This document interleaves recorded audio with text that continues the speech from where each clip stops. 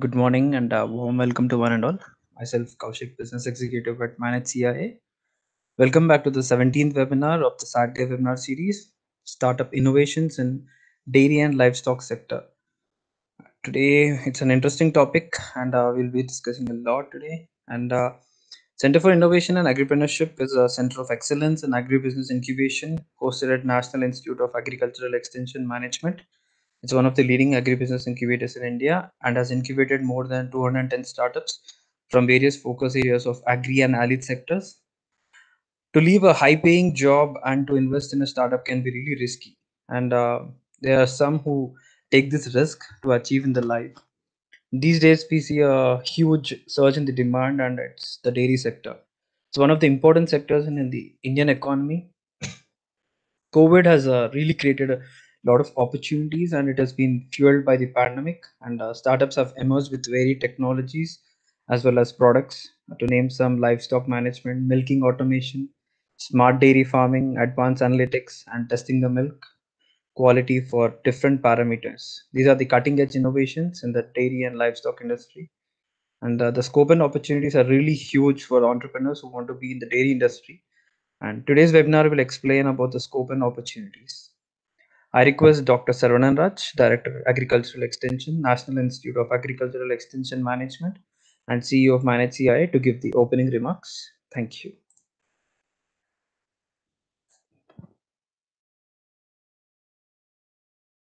Yeah, very good morning to all of you. And uh, Dr. Ashish Kumar Singh, Principal Scientist, ICAR, Indian Council of Agriculture Research, NDRI, National Dairy Research Institute, and uh, our friend and uh, manage incubatee, Mr. Kishore Indukuri from Sid's Farm, and uh, all the participants and the manage team. And very good morning to all of you. Dairy is quite interesting, dairy and livestock sector, and uh, manage many of might be aware. Uh, we are having something like uh, Agri Clinics, Agribusiness Center scheme. This scheme, so 18 years we are doing most of the agriculture graduates today, even science graduates eligible to under this training. The interesting part is there are there are 32 different type of activities they are doing. When we analyze all the activities or ventures, what they will establish, every third person, those who are establishing, every third person he goes for the dairy. And that may be quite interesting and a surprise to us. And uh, majority of them, they won't come dairy graduate or veterinary graduate. Most of them are agri graduates. And uh, very few veterinary and uh, fishery graduates, they will be there. Even compared to fisheries, uh, there are large number of agri graduates, they will take it up uh, dairy enterprise. And uh, they are very successful across the country. And some of them, they are role model, like somebody like Dr. Gajendra Bamania, is veterinary graduate and some, he is doing in Gujarat. Is having Excel breeding, uh, Excel breeding like that. Is having Excel breeding center like that. Is having his own start, own uh, veterinary business initiative. And uh, we thought this ACABC Agri Clinic started somewhere in 2002. It is only to provide the self-employment to agriculture and allied sector like veterinary and dairy or fisheries graduates. But this particular person, Dr. Gajendra Bamania, he gives few hundred of them, uh, rural youth and veterinary and other graduates, they are getting job from him. That's a quite interesting thing. They are, they are job creators for large number of people and also they employ large number of rural youth in Gujarat. Similarly in Tamil, uh, in Tamil Nadu and other parts of the country, there are large number of these graduates. They are doing mostly on indigenous. Recently, last five, six years, there are a lot of uh, importance for indigenous cattle breeding and services they are providing. And uh, some of them, they are providing something related to veterinary services on wheels, even remote part of Assam or Manipur or in Kerala. There are some women entrepreneurs, those who are in uh, veterinary, they provide the veterinary services uh, in wheels. They will take the wheels. For example, they will provide the emergency services in uh, livestock sector. Even uh, it is in Kochi, there is one of our ACABC trainee. Now, because of his services, uh, she was uh, re, re, she was incubated at uh, RKVY-RAFTAAR at uh, Kerala Agriculture University, and in and around Kochi, she tries to provide the emergency services like ambulance and going, but they will treat there only. They no need to take back to hospitals, veterinary hospital. but they treat in the vehicle itself. The vehicle itself uh, become the hospital. That's quite interesting, and uh, we have some couple of them like that in across the country, especially pet animals and other things, especially in uh, northeast part of the country. But it is evolving in the big way, and uh, uh, many. That's what even diploma holders, agriculture, all they are taking up. That's why it's a quite interesting sector. Everybody want to do because when we are trying to why they are because they are very much associated with the uh, dairy, especially in UP and other parts of the country, because it uh, UP or Bihar, it is very much traditionally it is with household. It's uh, over the generations they are doing. These graduates also want to continue those type of dairy and they want to improve. During this, if you see uh, recent days, there are a lot of uh, innovations are coming. When dairy they are when they are taking traditionally, they put a lot of manual labor. Even these graduates, they may not end up uh, getting better profit or providing employment to other or uh, veterinary services to large number of people. That's why these type of technologies are IoT based devices are coming and uh, even somebody, one of our startups to identify like something like Aadhaar and to identify the animals for the insurance or the bank loan. There is very interesting Gomuk like that. There is a uh, interesting uh, startup from Manage. It is there, Dr. Kartikeya. Even fisheries also we get a very interesting startups and uh, our Sid's farm is there. And when uh, it is a very interesting story, when Sid's farm, somebody told me maybe uh, if uh, precisely maybe four years or three years before, somebody, one of my uh, trainee came and told he was a student, PhD student. He came as a uh, facilitator. And uh, when I'm trying for, we are planning, we are trying to conduct the agro tourism. And then we are conducting Pune and some of the agro, agro tourism units. But that uh, boy he told, sir, somewhere here near uh, Hyderabad, uh, somebody keeping buffaloes and there are children are going and there are IT couples are going. They are paying for seeing buffalo like that. He told exactly first he told like that. then I was laughing. Don't tell like that everywhere buffaloes, whether in uh, Tamil Nadu or it is in any state, Bihar, all the roads everywhere buffalo will be roaming. And even I born and of a family with buffaloes like that. I was uh, laughing. I didn't take it very seriously.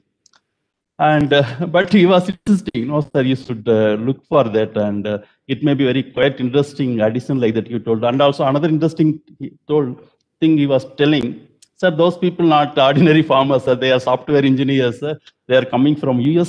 so that then uh, it's a curiosity actually. Really, he was very seriously, and he told, sir, I conducted case study, sir. You see, like that, he convinced me too much. Then I seen, and uh, we took our participants that's what that time I understood. I was born and brought up in the farm family. More than three decades, I was in the farm only. My house itself farm, but I never thought seeing buffalo somebody will come and pay like that. But uh, somebody can sow buffalo and they can have the evening dinners or something like that, and tent they can put and uh, couples with children they will come and they will stay there and they will enjoy whole the dairy farming or and also they will see something like milk which is a pure milk coming from organic like that and uh, they can vouch for it and they will become customers uh, those type of approach really it is impressing. It was something three and a half years back i think otherwise four years back. Uh, that made me whole my perspective to change about agribusiness. Otherwise we are doing 18 years agribusiness and most of people are doing uh, agribusiness. That's what only in 33 percent of our success story like uh, we have 30000 of them across the country. Uh, but uh, none of them they thought like Indukuri because UP or Bihar nobody will pay for uh, village areas generally they won't pay but they should have started somewhere uh, post areas IT city or somewhere like that Uh, but Indukuri came from uh, US and he got the idea that uh, I think so maybe experience makes difference and also thinking something differently that's what uh, it has a great scope and there are a lot of innovative ideas are coming Uh, the our startups are coming. This area is very less startup. For example, animal husbandry and fisheries sector and the small ruminants.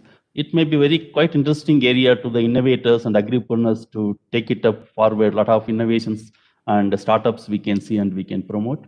And today maybe uh, we might be hearing two very exciting and two different uh, set of speakers. One is come from the purely researcher and academician, and also he is the he is promoting a large number of startups through Archive Raptar, uh, incubation center at NDRI and also Indukuri. Is uh, one of the successful startup and uh, we can't tell startup. I don't know. I doubt after his, his final presentation, the figures told and annual turnover told, we are really, it's the industry. He is not running the startup now. I think it has become industry he is moving forward. He may be more inspiration to many of you today you are attending or you may pass this information to a number of people. And uh, thank you for all attending. And uh, maybe today our uh, new batch of managed uh, startup incubation family is extended another 65 innovators and they are today joining with us this webinar. There's maybe some of them earlier and uh, most of them maybe first time they are participating. And I welcome on behalf of managed team and we see a large number of regular regular customers for our uh, Saturday webinar series. They are also there. And I welcome all of you. I hope uh, today's may be very exciting. And thank you very much. Have a great learning today. Let us see. Thank you very much. Dr. Mr. Kaushik. Yes, sir. Uh, thank you, sir, for uh, sharing your thoughts regarding the dairy as well as the livestock sector. And uh, today I invite the first speaker for our uh, webinar, uh, Dr. Kishore Indukuri, who is the founder and CEO of Sid's Farm Private Limited. Uh, as I said, like he's been back from the US and to leave a high-paying job, it's very you know risky, but still he's done it out here, and he's got a PhD and a master's in University of Massachusetts Amherst in polymer science engineering and uh, a BS chemistry, that is Bachelor of Science Chemistry from IIT Kharagpur. Also got a corporate experience with Intel and Om Scientific. And uh, Mr. Kishore is really passionate uh, about Sid's Farm and his core aspect is here to provide access to healthy and natural food, which is free from antibiotics and uh, harmful adulterants. I request uh, Dr. Kishore and Indukuri to start his session. Thank you.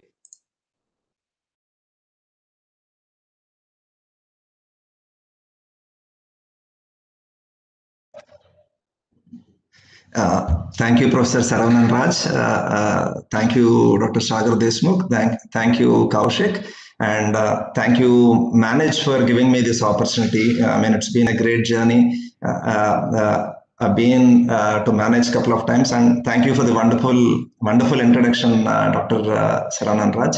Um, this journey, this entrepreneurship journey, um, you know, I'm actually thankful. I've uh, met wonderful, you know, people, employees. Uh, you know, it's been a. Uh, I'm actually thankful for this, uh, for Sid's Farm for giving me this opportunity. I should say. You know, we started. Uh, uh, we started this as a. I mean, when we started, you know, I, I wanted to do agriculture. I loved the concept of sitting under a tree and doing something uh, but um, you know, little did I know what it what it takes uh, to really start something and drive it, right? Um, uh, so I will uh, share my presentation. If you can, um, I'm not able to share content. Maybe I'll put up my slides. Uh, Kaushik, if you could help me share. yes, sir. Share button in the middle of the screen somehow it's not letting me do it, uh, Kaushik. I can do it.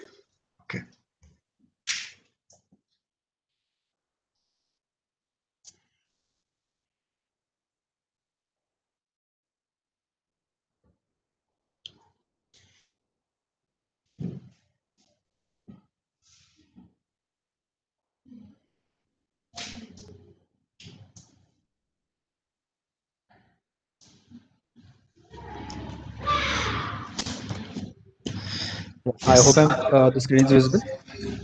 Yes, it is. Yeah. Okay. Thank you. Okay. So, um, so as I said, I mean, maybe I'll um, I'll start with, uh, and it's an honor to share the uh, uh today's webinar series with uh, Professor A.K. Singh. Uh, it's an honor to present here. I mean, we are a, a, a, still a small entity. All of our staff and employees at Sid's Farm feel like we have great things to do. We have big things to achieve. Um, we're still a very, very small entity. Uh, let me start with telling you how uh, the, uh, the, the idea started for us. You know? When I moved back um, uh, from the US, the, one of the first things that we were looking for uh, good milk for our kid. Right, we had a one and a half year old son um, his name is Siddharth. And when we look, when we looked out to see, we, we could not really find, uh, you know, uh, uh, uh, a reliable source of good quality milk. There were people, there are to give um, credit to everybody, there were people, but we, we really wanted somebody to come out and say, you know, uh, give me this little, uh, I, I'm here, I'm providing you pure trusted milk. And this is how we do it, right? So we wanted to be that authentic source of milk that the, that the customers, uh, that somebody could really trust. So this started, Sid's Farm is a promise from me to my son Siddharth, saying that we'll only produce the best milk possible. We won't, we don't, we won't do anything less, right? If we cannot do it, we won't, we won't sell milk. But if we do, we'll only produce the best milk possible in the world, right? That is how our journey started, and that is we, that is what we do every day. This is what we strive to achieve every day, and uh, uh, and our story is of how we overcome uh, the challenges, right? Um, when I started, uh, we had some money to begin with, but believe me, the money went away fast, right? You buy you buy uh, 40 cows and all the money is gone, right? And then we really figured out uh, that we had to innovate in in a, in a low cost way. we had to really innovate on a lot of things to make sure we survived it, right? so that, that is how you know we started with a small dairy farm uh, um, uh, in uh, in the outskirts of Hyderabad. Um, uh, because we felt there was uh, widespread uh, milk and food illiteration in the country. So if you look at some reports, um, you can you, you have um, people talking about all sorts of adulteration. Some of it is hype, but some of it is real right? Um, uh, there are uh, thickeners that are present in milk. There are uh, and the uh, thickeners ranging from urea, sugar, glucose, um, you know, various sorts of uh, uh, fat and SNF enhancers. And then there are also widespread use of antibiotics in milk, which is equally harmful, right? So this is the problem that we, we, we set out to solve. And uh, uh, we'll go to the solution slide, the next slide. Yes. So, um, so I'll spend a lot of time here um, um, because this is years of journey getting uh, getting to here. So as I said, we first started with our small uh, model dairy farm, uh, right? And then uh, when we got to about 50 to 60 animals, we figured out that, you know, um, there were a lot of farmers from our neighboring villages who are approaching us they were saying, um, uh, Kishore, why why don't you take our milk as well and uh, sell our milk too? Right? Maybe maybe I'll rewind a little bit. You know, we we we we've started producing our milk, and we went and went to sell this milk outside. And uh, we realized that we were getting very little money for, for the milk that we were producing. We were hardly getting 20 to 30 rupees per liter, uh, not even 30 rupees, we were getting, I, should say, less than 20 rupees per every liter that we were producing. At that point, we decided, since it was our uh, goal anyway to produce uh, good milk and, and deliver it direct, we started delivering milk direct to customers. So we started with about 10 customers first, uh, and uh, we started supplying milk direct to customers. Um, and uh, as um, our customers grew, we started adding, um, uh, we started buying more animals and we started producing more milk. So our journey started, used to start at four o'clock in the mor- morning. Four to five, we used to milk our cows. Um, uh, five to uh, six, we used to hand pack it. Five to five thirty, we used to hand pack it our milk. And um, you, you, know, uh, five thirty to six thirty, we used to deliver it in an auto in the city. Right? And then as our milk started expanding, um, that 4 became 3.30 in the morning, 3.30 became uh, 3, uh, 3 became 2.30, 2. We were at one point, we were waking up as early as 2 in the morning, you know, um, uh, waking all the people up and then milking our cows and, uh, you know, uh, packing it with hand packing machines. And then we uh, moved on to automatic packing machine and we were delivering it early in the morning. We, we were doing this twice a day once in the morning and once in the evening. Uh, and that is how we did for the first one year. Then we quickly realized that uh, the importance of um, you know chilling milk uh, um, and then we put we put together a small pasteurization facility. Uh, we purchased a small pasteurization facility uh, from Pune, and we put it together, and we started sending pasteurized chill milk to our customers. Uh, then uh, interesting uh, things started to happen. The farmers around also started noticing, right? Farmers who wrote me off saying that this is some lunatic coming from somewhere and doing uh, crazy things. Uh, I mean, they started approaching and said, "Why don't uh, you take our milk and do the same as well and, and give us a, a good price for the milk?" that is how our journey with farmers started. So we started onboarding. Uh, uh, we started onboarding uh, groups of farmers, and uh, uh, uh, and um, then the, the, next problem that we realized is we wanted to make sure their milk was good, right? So we started with simple testing. we we bought a few NDDB test kits, and we started testing milk for different parameters. Um, and then we quickly, uh, uh, then we also started doing some more antibiotic testing. We quickly realized that the cost of testing was becoming higher and higher. Um, uh, so we got down to the FSSAI manuals um, and uh, we started slowly developing our own reagents. So that reduced the cost of our testing. Today, um, uh, we make our all, of our own reagents uh, ourselves in, our laboratory. Um, we do uh, over 2000 tests daily on our milk. So every adulterant that can be possibly there, uh, um, I mean, the information is all out there in FSSAI uh, test methods. We develop we develop those reagents in house and test every batch of milk. Right. Uh, an average, uh, we look for uh, three classes of we look for at least 10 different adulterants we look for three classes of antibiotics we look at aflatoxins present in milk we also test for oxytocin right? And this milk, uh, today we have about uh, thousand farmers we work with. Uh, uh this milk, uh, tested milk, we direct deliver to our customers via an app, right? so there's an entire city and distribution that happens. We, we work with a network of 160 delivery partners who deliver our milk direct to customers over an app. Um, and an important thing that uh, uh, we do also is, as you're doing this, uh, one way we connect with our customers is through dairy and agro-tourism. We invite a lot of our customers every Saturday to the farm. Uh, we've done even nighttime stargazing events at the farm. Uh, we, we, we, pull in customers, we, we, we get uh, school kids, we get uh, uh corporates, we get uh, degree colleges, we get universities to come visit our farm, show them how it is done, right? We start from milking a cow. We start from milking a cow. We show kids how to milk a cow, and then how that milk travels from there to the to our main processing line, right? The entire process is, uh, is shown to a customer. Right? Um, starting from testing right? So we we are a truly transparent uh, organization that uh, that anytime a customer can walk in with a prior appointment we will show the entire process line to them. Right? so starting from how do we test right? Why do we test? How, how does adulteration creep? Right? We show them the entire uh, uh journey to our customer. So uh, coming uh, so this is a little bit about our story. So I want to talk about why does adulteration happen in the first place, right? So observing data uh, for the past, I would say five, uh, six years, some of the learnings uh, uh, uh, here is, you know, first let me talk about what is adulteration in milk. My understanding, our understanding, our simple understanding of what is adulteration, right? So either uh, preservatives or thickeners are used.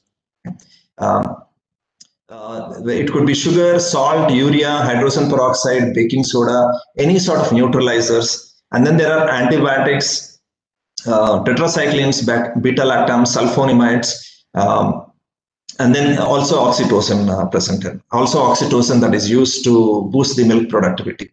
Okay. This is a different type of adulteration. If you can go to the next slide, please. Yes. So, um, uh, as I was asking, why does it happen in the first place? Uh, the uh, one of the key things that we observe is there's not enough money to a dairy farmer, right? Uh, and if, even if there is uh, enough uh, money declared by a cooperative or a, or a private company, what we find is often there are malpractices in farmer pricing. What what a farmer gets ultimately is not what he should be getting. Right. This is one thing the, that uh, we see in a lot of places. As you go to more and more rural areas away from urban centers, we feel that there's a lot of uh, malpractices in farmer pricing. The second uh, issue is inefficient and uh, missing uh, uh, chilling infrastructure. These are the two primary reasons why thickeners or preservatives come into milk in the first place, right? Because of inefficient chilling infrastructure, hydrogen peroxide is the first adulterant that comes into milk. Right? The second adulterant is a neutralizer. Because the milk is about to split, because दूध खट्टा हो जा रहा है acidity in the milk is increasing uh, neutralizer like baking soda or caustic soda are added to milk. This is a common uh, uh, um, uh, adulteration that we find. The other adulteration is the farmer is just not getting enough price. You know, um, uh, farmers tend to uh, adulter with either sugar, maida, or salt. These are common adulterations that we that we find in farmers. The next one really is antibiotic usage or hormonal usage. Right here, um, uh, see, animals fall sick. Uh, animals fall sick and they have to be treated with antibiotics. Uh, how we solve this issue is we tell the farmer if you have to uh, treat an, uh, an animal with ant- antibiotic you just let us know. You separate the milk to us and give it to us. We give them different colored cans so the farmer can separate that antibiotic milk and give only the milk that does not have an antibiotic. Here we work very closely with the farmer.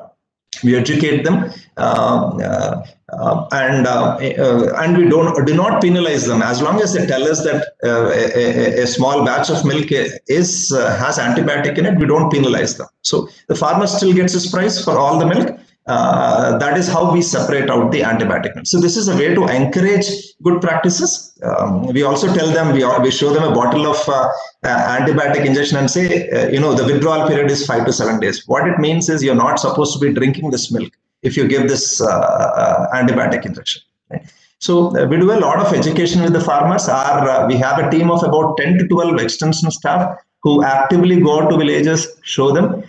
first is test, test, test uh, we test to make sure we we find uh, we find out uh, anything that could be present in milk. Then we go and educate and make sure this, those practices uh, uh, go away. Right. We truly believe, right, at Sid's Farm, we truly believe, all of our staff, we truly believe our small Indian farmer produces the best milk in the world. He takes care of his house, he grazes them, he, he treats them as his own, uh, right? If we can solve these few issues, right, with making sure the chilling infrastructure is very close to the farmer um, uh, and we're paying them fairly, right? Uh, and we educate them about uh, antibiotic usage and oxytocin usage, we can prevent these, we can stop them from happening, and uh, we can produce the, um, uh, we can capture and get the best milk that is already being produced. If you go to the next slide. And as I talked about, we do a lot of testing. We focus a lot on testing, starting from a small uh, room. Today we have a, uh, a 1200 square feet, I think about a thousand uh, square feet facility where all we do is just test, right?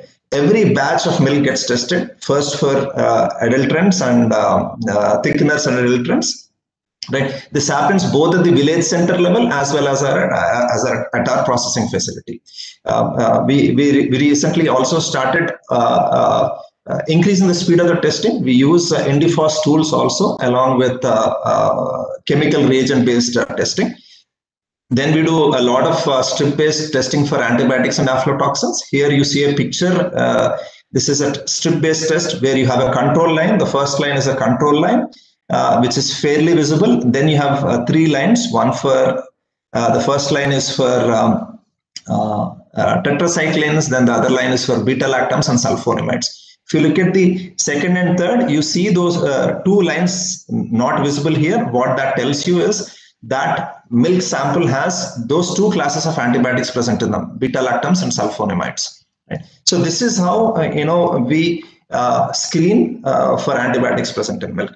We also recently acquired a HPLC to be able to test for, uh, able to do uh, oxytocin testing, also any protein analysis, any anything else, anything advanced we want to do. We also recently acquired a HPLC.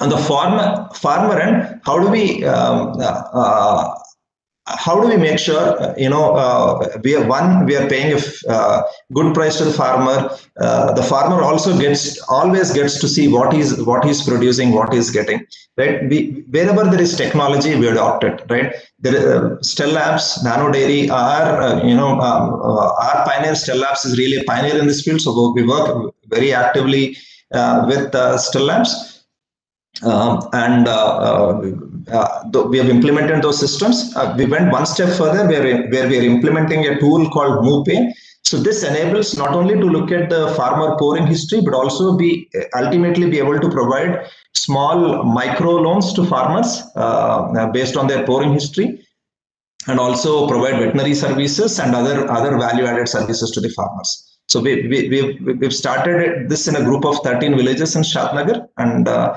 uh, slowly we'll start to see uh, hopefully benefits come, going out to the farmers in the next uh, um, in the next few months on this. Also, actively we are adopting in instant milk chilling systems. We are taking them very close to the uh, farmer and village centers and uh, we are investing a, a, good amount of money on these instant milk chilling systems.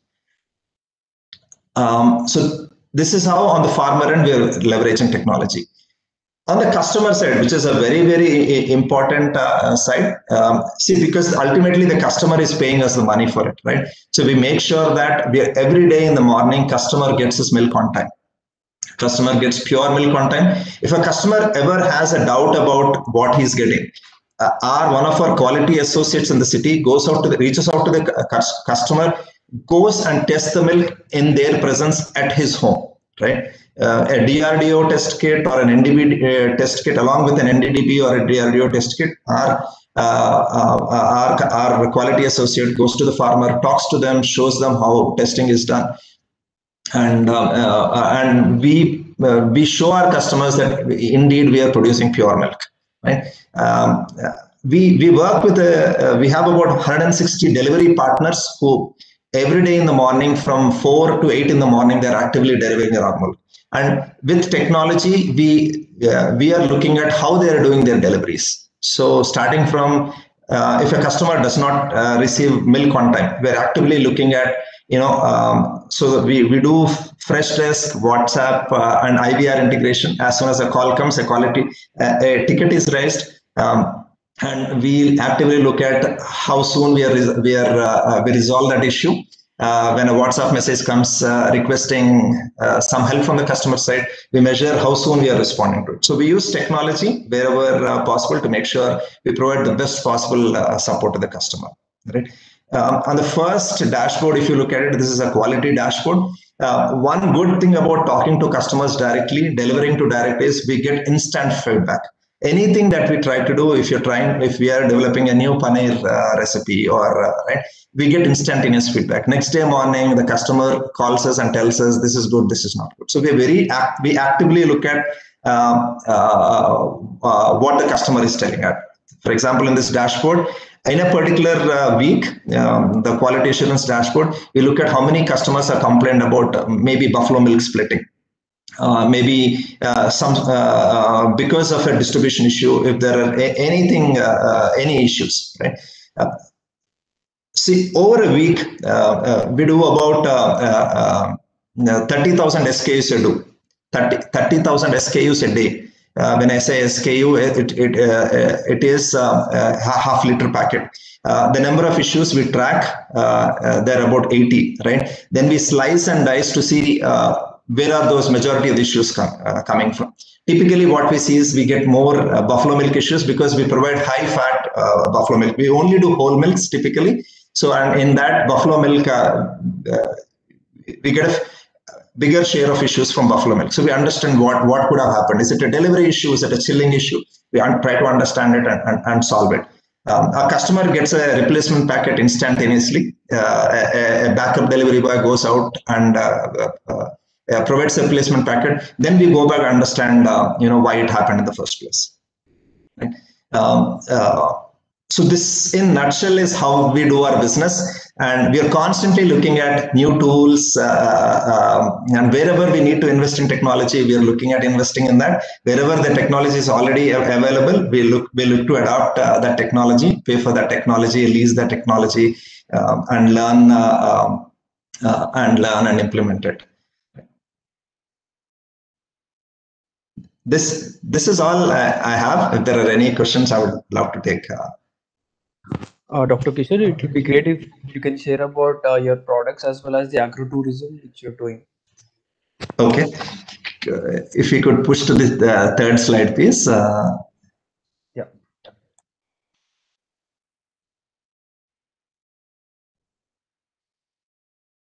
Right. Yeah. The next one, please. So, um, yes. So the today we do. Uh, I'll start with the products. The uh, we do whole cow milk. Uh, when we say whole cow milk what we sell is is uh, is minimally processed. We do basic pasteurization of milk. We don't do homogenization. We do base we do pasteurized whole cow milk. We do pasteurized buffalo milk. We do paneer uh, when we do paneer, uh, we, we break our paneer only with either curd or lime. Uh, we don't use either citric acid or any of the other commercially available things we, we only use uh, uh, two or three ingredients and only natural ingredients we use. Right? Uh, we also do ghee. Um, some of the products are displayed here. ghee, um, we also try to churn it in the traditional process and manufacture ghee. We also do it in the traditional way. Right? We, we also we do cow ghee separately and buffalo ghee separately. And some of the new products that we are doing uh, um, are uh, we are we would be launching uh, cow curd separately and buffalo curd separately. Today, that is something that you don't find in the market. You, you find curd that is either uh, it's mixed curd, it could be mixed with buffalo or cow. So we're doing uh, uh, cow curds and buffalo curd. Uh, we're doing cow butter and buffalo butter. We're doing uh, uh, simple products today that are maybe one or two ingredients at the most. Right. We, we we see that there is a lot of demand for those, and that is what we, we are trying to. That is that is the market that we are trying to address today. Uh, and uh, the, picture above this shows um, uh, about the agro agro-tourism uh, that we do. We have a four-acre uh, farm uh, on the outskirts of Hyderabad, about 55 kilometers from this from Hyderabad city. This is where adjoining to this adjoining to our farm is where our pasteurization facility is also located. Um, so as I said, every Saturday uh, we we do an open house. Customers can walk in into our facility from three to seven in the evening. Right? So uh, we start with milking a cow. Uh, we do uh, we let the customers taste all of our products there uh, in the farm on the farm side, and then we show them milking. We get kids interested in milking a cow and as they're doing that, uh, uh, then uh, we walk them through our uh, grass fields. First, we show them how the grass is grown. Then we also give them a little bit of education about ajola. We show them what ajola is. Right. This is something I'm not talked about. We do this with our farmers. Right. We do ajola ponds for our farmers. Um, uh, typically, this this pond that you see costs us 1,500 rupees. If a farmer is interested in this, so we do it for them and we cut them 50 rupees per uh, per billing cycle. Right? It's just a, a, a, tarpaulin sheet with a brick uh, that is put up, uh, and we show them how to do ajola. We also do. We also grow four types of uh, uh tree fodders like uh, uh, subabul, sesbania, gliricidia, and moringa. We, we grow four types of tree fodders. We we tell customers as well as farmers the importance of growing tree fodders that can reduce the cost of that can reduce the cost of your feed itself uh, feed or dana. And then uh, we give customers uh, in a tractor, we show them entire grass growing operations, right? Um, we uh, our own farm we do about uh, close to 60 acres of uh, grass growing activity we we take them to one field where the customers get an idea of you know how grass is grown what is what kind of grasses the animals eat then we slowly bring them into the lab first we show them all there is to test milk. We show them, we tell them why milk is chilled in the first place, right? We talk about bacteria and what happens if you don't chill. So we do a lot, we got a lot of questions about preservatives. Customers feel that if you uh, uh, if you packet milk, uh, it should have preservatives. We'll, we'll, we tell them it is not true. All you have to do is chill milk in time. If you chill milk in time, there is no need to add any preservative Uh, in fact, I tell them in the West, um, you know, just chilled uh, uh, milk has a shelf life of seven days. In India, we only give a shelf life of one day, right? Um, right. But if you chill milk on time, if you uh, do chilling at the source, you, you, can in fact have a shelf life of about seven days without any preservatives. We start with that. We show them how we test milk. We actually go through all the color-based uh, um, uh, chemical uh, reagent uh, uh, detection. We show them how to do urea tests. In fact, we have uh, a YouTube channel where all the tests that uh, we've, we put them on our YouTube channel, where all the tests are actually we've done and demonstrated. Anybody can try do it. Um, then we go through antibiotic testing. We um, we show them antibiotic testing. We give them a tour of our uh, HPLC uh, room as well. And then uh, we go on to the milk processing stage. We show them how milk goes from first chilling step then to the pasteurization step, then how the pack packaging is done, and how it sits, uh, sits in the cold room. And then eventually from there, uh, how milk is dispatched from there to our uh, distribution centers in the city. Right? We show we, we show them the entire uh, process. And in addition to this, we do we uh, we do uh, sometimes night camping events at the farm. So we invite people to come to the farm, spend a night, uh, uh, this to do we do it with a, a, small groups of people because we don't want to uh, overcrowd. So we invite uh, people to the farm. They spend some time they, they bring their musical instruments and stuff uh, and uh, they come down they get to spend some time and you know maybe graze at the stars. We've had people who brought in their telescopes and stuff um, and spend some time maybe do a little bit of barbecuing and spend their evening there we have done that for students. We've, uh, in the past few months, because of Corona, we've stopped this activity. We are looking to, as soon as the vaccination starts to happen across the country, we are looking at uh, reviving uh, uh, uh the the farm tours again within a few months. Sorry, that was an elaborate answer. Hopefully, I answered your question. Uh, no, sir, that was a truly amazing, uh, you know, presentation. We've got to know about your product and you know, as well as agro-tourism. In the meanwhile, I can uh, just uh, show a video of your, uh, you know, milk testing in the YouTube channel. So that would be, you know, a bit uh, natural for them also. Sure.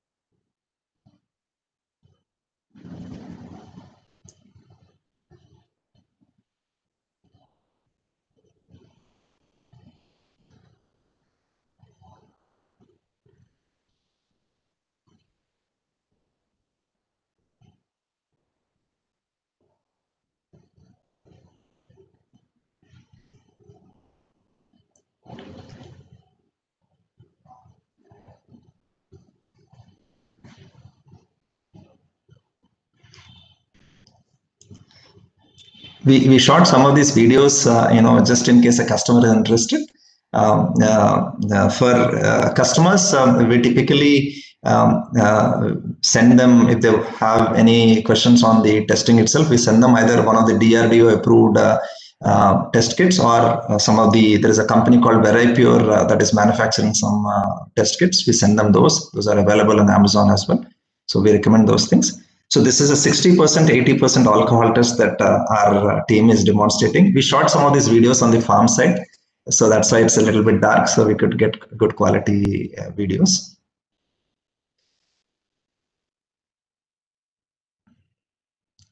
And uh, we are proud to say right our team is proud to say a lot of the guys that you are doing these guys are are, are, uh, are from the local villages around right?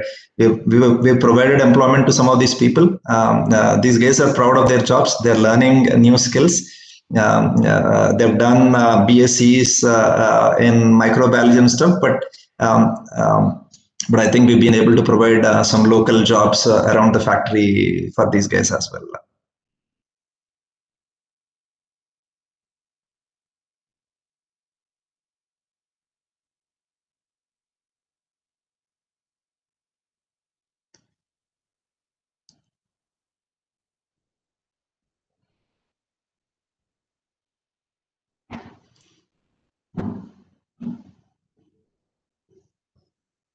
we, have, a, we have about uh, 10 to 12 such videos uh, that we posted on our YouTube channel.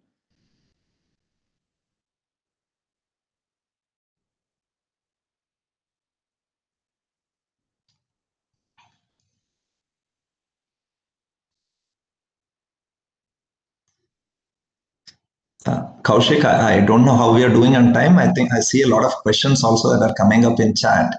Um, if you are good on time, I'm, I'm good. Uh, uh, we are good on time, sir, and we also have the Q and A session in the last, like around 12:40. So that should be good. Sounds. Thank you.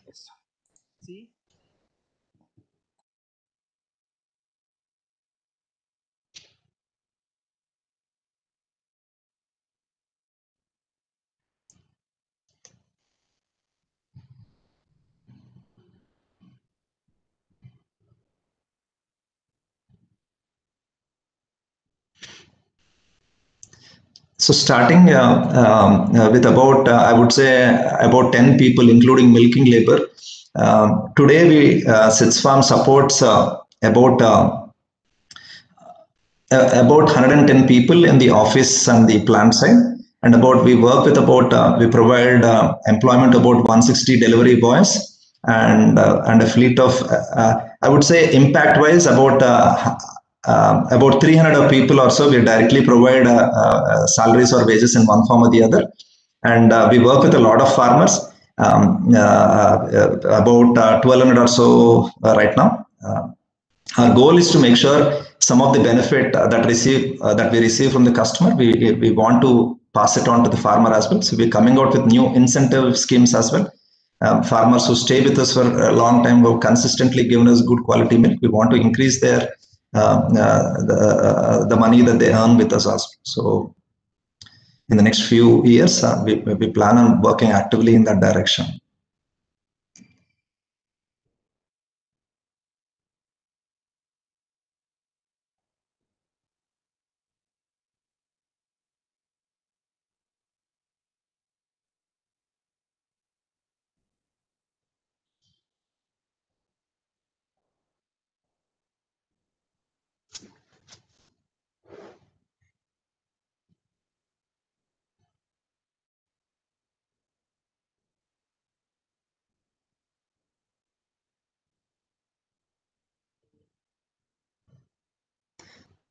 Here uh, you can see that milk uh, uh, is starting to split. Right, that is how we assess whether the milk has passed that 80% uh, test or not.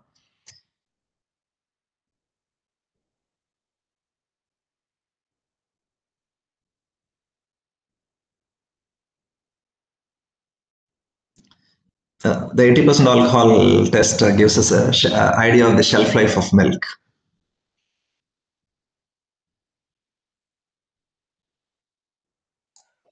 I think uh, this way, I think uh, audience would really connect to the product much more. And yeah, thank you for your session. And uh, we shall go for the second speaker.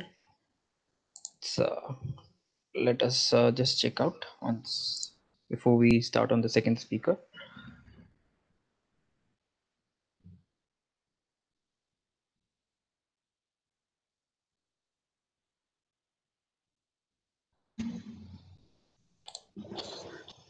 Yeah, and uh, our second speaker for today is Dr. Ashish Kumar Singh, who is the principal scientist, food science and technology, and incubator business planning and development unit, ICAR National Dairy Research Institute. an active researcher and an academ- academician in the area of food science and technology, working in the field of composite dairy foods, development of technological packages for novel dairy foods. Uh, Dr. Ashish Kumar Singh has done his PhD in GB Pant University of Agriculture and Technology, and also a couple of awards with uh, ICAR Bharat Ratna Dr. C. Subramanian Award for Outstanding Teachers 2015 in Natural Resource Management and Agricultural Engineering from Indian Council of Agricultural Research. Also, S.K. Sirohi Memorial Award for Young Researcher. I request uh, Dr. Ashish Kumar Singh to start his session. Thank you.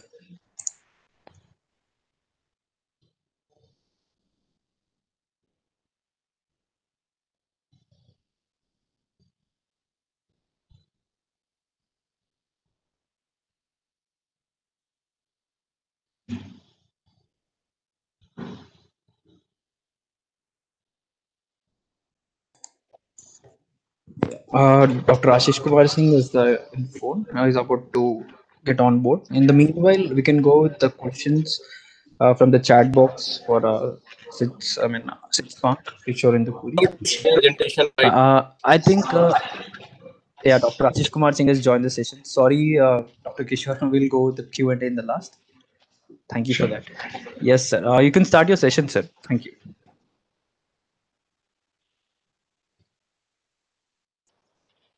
Uh, mr sure i not share presentation Uh, shall I share on my side, sir? uh here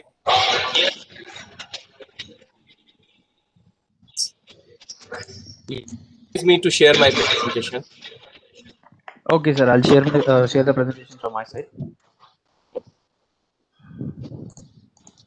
Will be then, then it will be difficult for me to make changes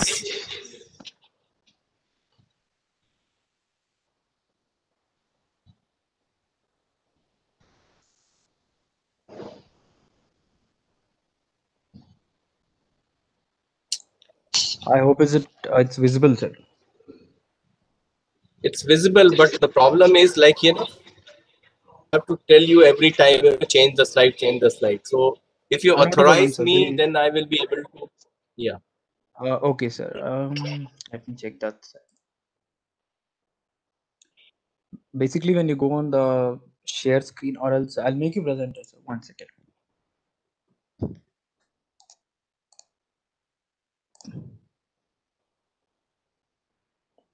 yes yes yes yes now. Okay, sir. Okay, sir. okay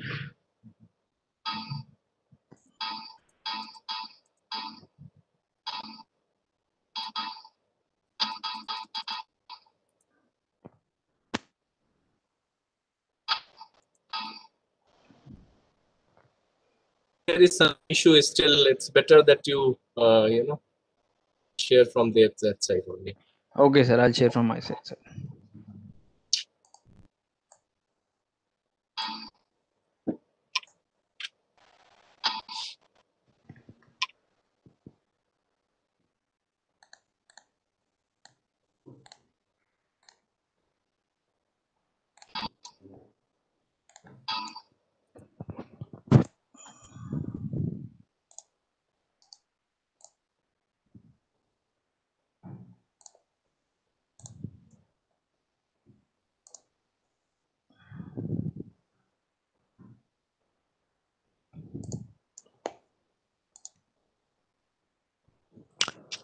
Um, I don't see the share button, sir. Uh, you can start the presentation meanwhile.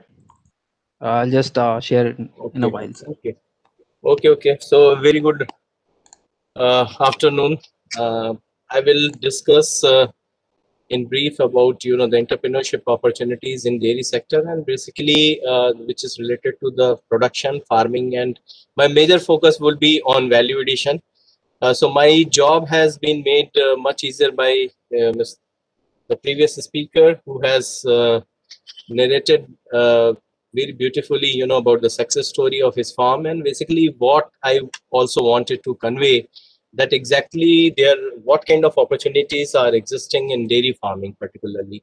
So you know we all know about the success story of uh, indian milk sector dairy sector and we are the topmost producer and by the end of this year means the last year uh, the production has reached to around 190 metric ton. Probably this is uh, a figure which is for, for, which you know most of the people are not aware that in our food basket milk is the third largest agricultural agro commodity after the rice and wheat.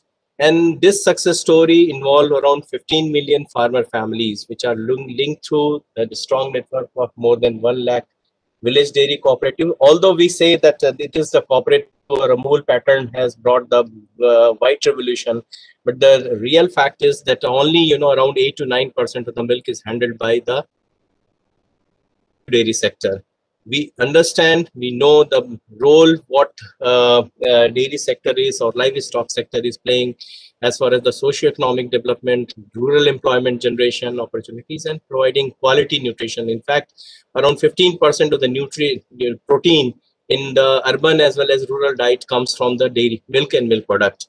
As far as the Indian dairy sector scenario is concerned, uh, we are uh, means among the various food processing sector, this is having the highest rate of uh, level of processing. If you compare with fruits or vegetables or milk or fisheries, and another important thing is that around most of the dairy products are growing at a growth rate of around 15 to 20 percent. And but the you know sorry figure as far as our dairy sector is concerned is that we have a very negligible presence, less than two percent in the international market. And this is despite the fact uh, you know that we are we are having around 20 percent of the global share in the global milk production. And if you look at the locational advantage, we are not able to tap that locational advantage because we are surrounded by most of the countries which are deficient in milk, whether it is SAARC nation, Middle East, or down South Africa, or ASEAN, which could be a very uh, positive, you know, which could be a very promising areas as far as Indian dairy product is concerned. Coming to the vision 2050, that by 2050 it is presumed that we will be the most populous uh, nation on the uh, globe, and we will figure among the top three economy. And to continue the, our contribution of the agriculture sector uh, to the national GDP, dairy sector has to grow at a growth rate of around 5.6%. And currently, uh, this is uh, kind of, you know, it, it, it, this figure is around 6%. And in that scenario, it will be more entrepreneur profit. Okay. Because what people are preferring, that people are preferring towards more uh, kind of organized milk processing. So driving forces which we can foresee and the kind of challenges which we also visualize but that we have to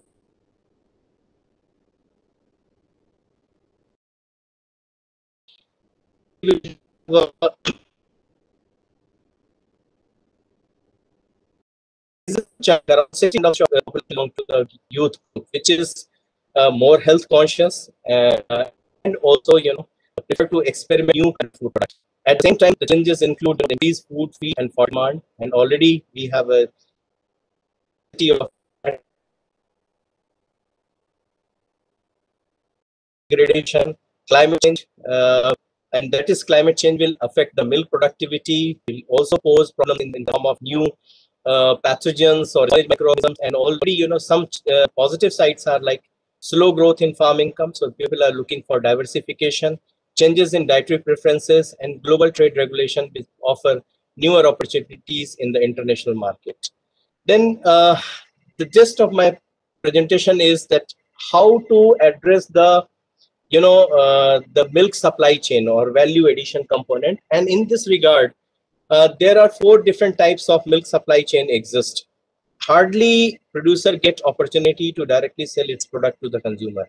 Then there are you know number of other chains is having number of intermediaries and when there are issues of intermediaries the problem comes in the form of like adulteration the poor return to the milk producer and also consumers are not getting the good quality milk when many times when people ask about the quality of milk probably you know only one thing which comes to our mind is that uh, it's freedom from all kind of adulterant no it's not only this but there are many other quality challenges like because of the tropical tropical climate our milk is bound to have very high microbiological count. And so, so far we have to resort for or you know we have to adopt a clean milk production strategies. There are number of zoonosis zoonosis means uh, you know the micro or the diseases causing agents or pathogens which can transmit from animal product to human being So there are more than 20 different types of, uh, you know, uh, diseases, which you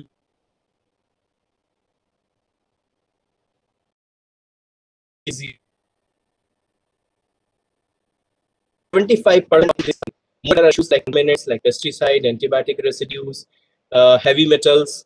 Then uh, most of the many times, you know, we don't give due consideration regarding the time temperature combination because the major kind of commodity which we uh, get from the commercial sector is the liquid milk, and 45% of the milk which is produced in country is consumed as liquid milk, but only 33.4% is packed. So that means, you know, still a sizable chunk of our population prefer uh, chilled but good quality milk at their doorstep. So, uh, you know, how we can support, what strategic interventions are required, and basically our programs or EDP programs or entrepreneurs uh, supporting programs are basically revolving around these challenges that we have a lot of technologies are available in different R&D organization institution. But when it comes to the how many people are aware technologies, okay then many technologies which we developed as scientists i i i don't hesitate to accept it that uh, most of these technologies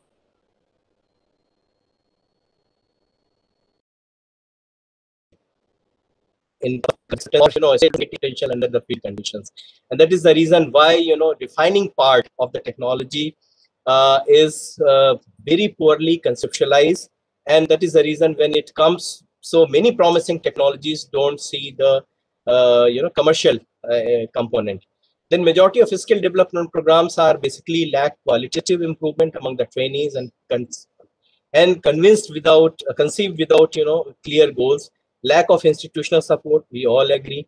Then there is also farmers and generally the entrepreneurs they don't have much information regarding the effective marketing technology tra transfer and entrepreneurship strategies. And since the sector is you know or for that matter our most of the agriculture sector is comes in the domain of unorganized sector. So how we can transform it to a successful uh, commercial venture? So there are a number of options like dairy farm as enterprise and probably after uh, the presentation of my previous speaker i don't have much to say about it but the thing is that if you adopt the scientific management dairy farming management practices as whether it urban so like peri-urban kind of dairy sector or it can be from the rural side also.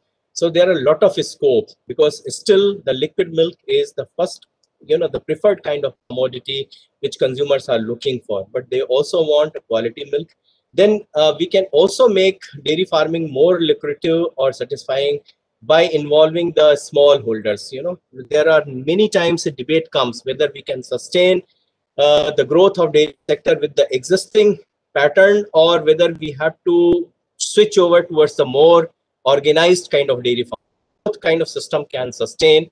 But the thing is now uh, that uh, small holders have to come together because cooperative, we have seen the cooperative is successful only in certain states or certain geographical reasons. There are a number of issues why they are not successful. But the self-help group model, milk producer union uh, kind of model is could be you know one of the alternative.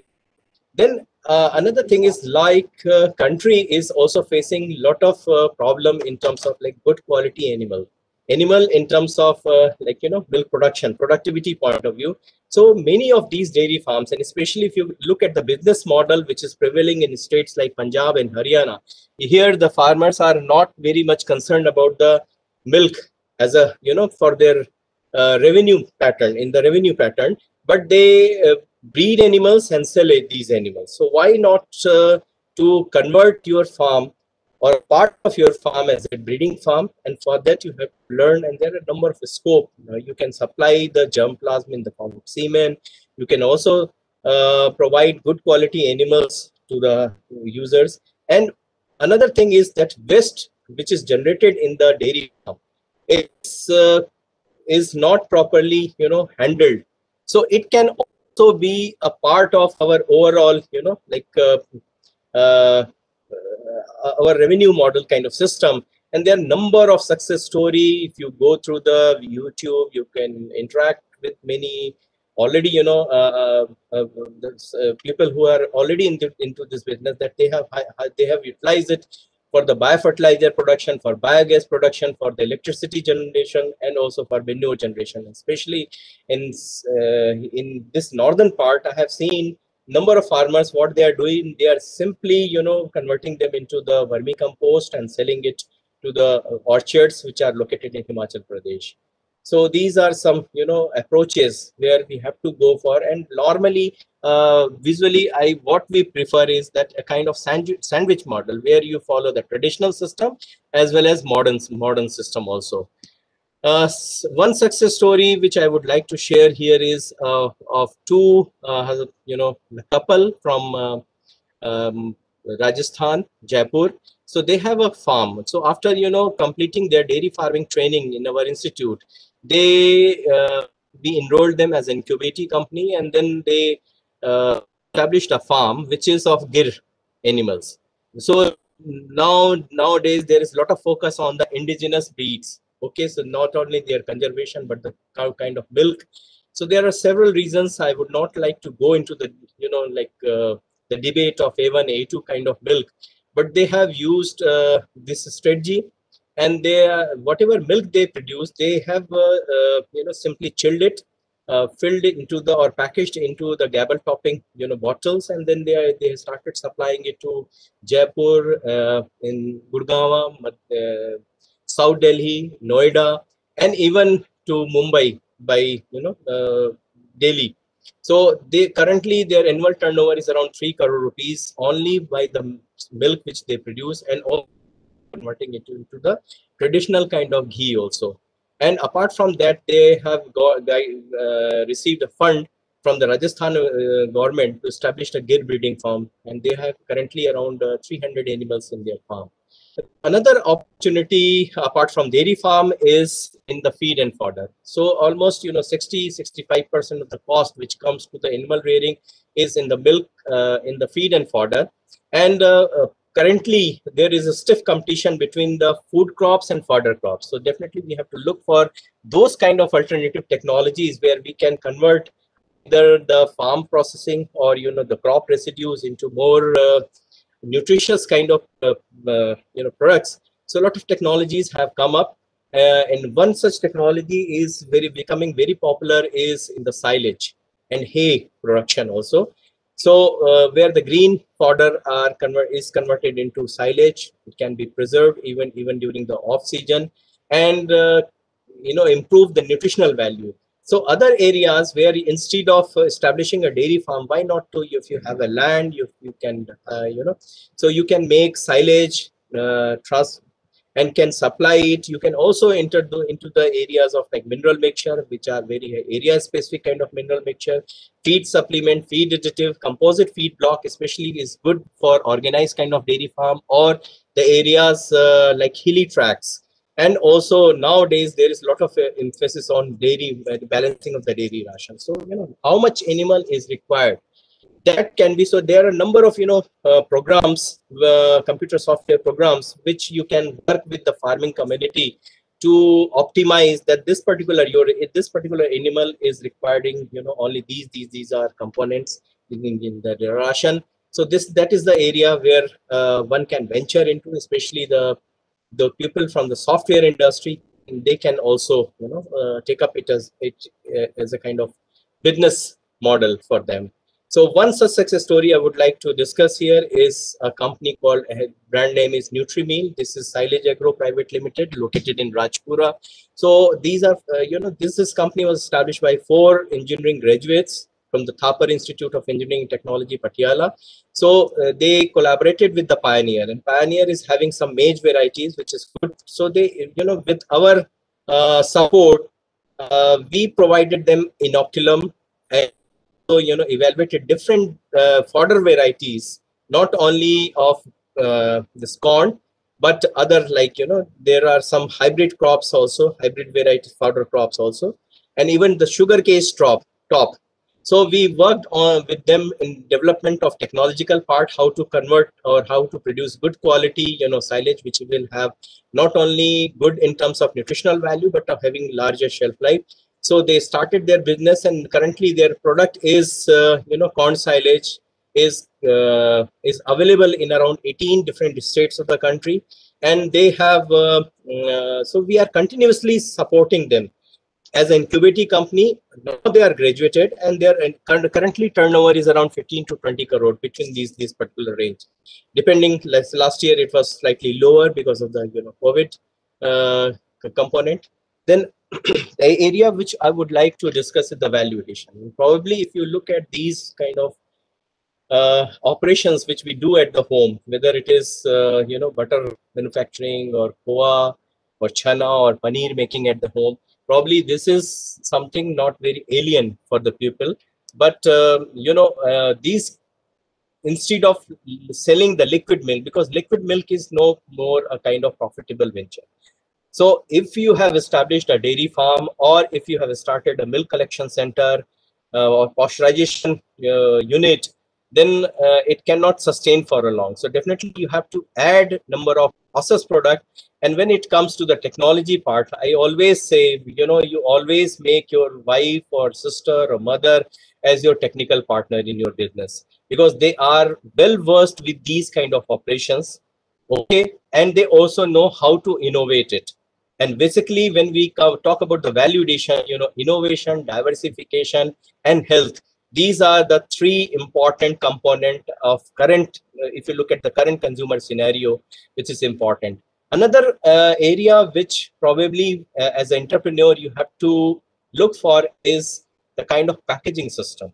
Okay, because we started with traditional steel containers, switched over to glass bottles, but but again due to the higher breakage you know it has been transformed into the form of like polypack. But realizing the havoc created by these plastic films uh, like companies are switching over to tetra packs but they are very costly. But if you look at the you know compare if you compare with the pasteurized milk and the tetra pack milk you will find in all regards this tetra pack is in, even in terms of like economy it is more economical if we talk in the larger context of the you know environment sustainability also.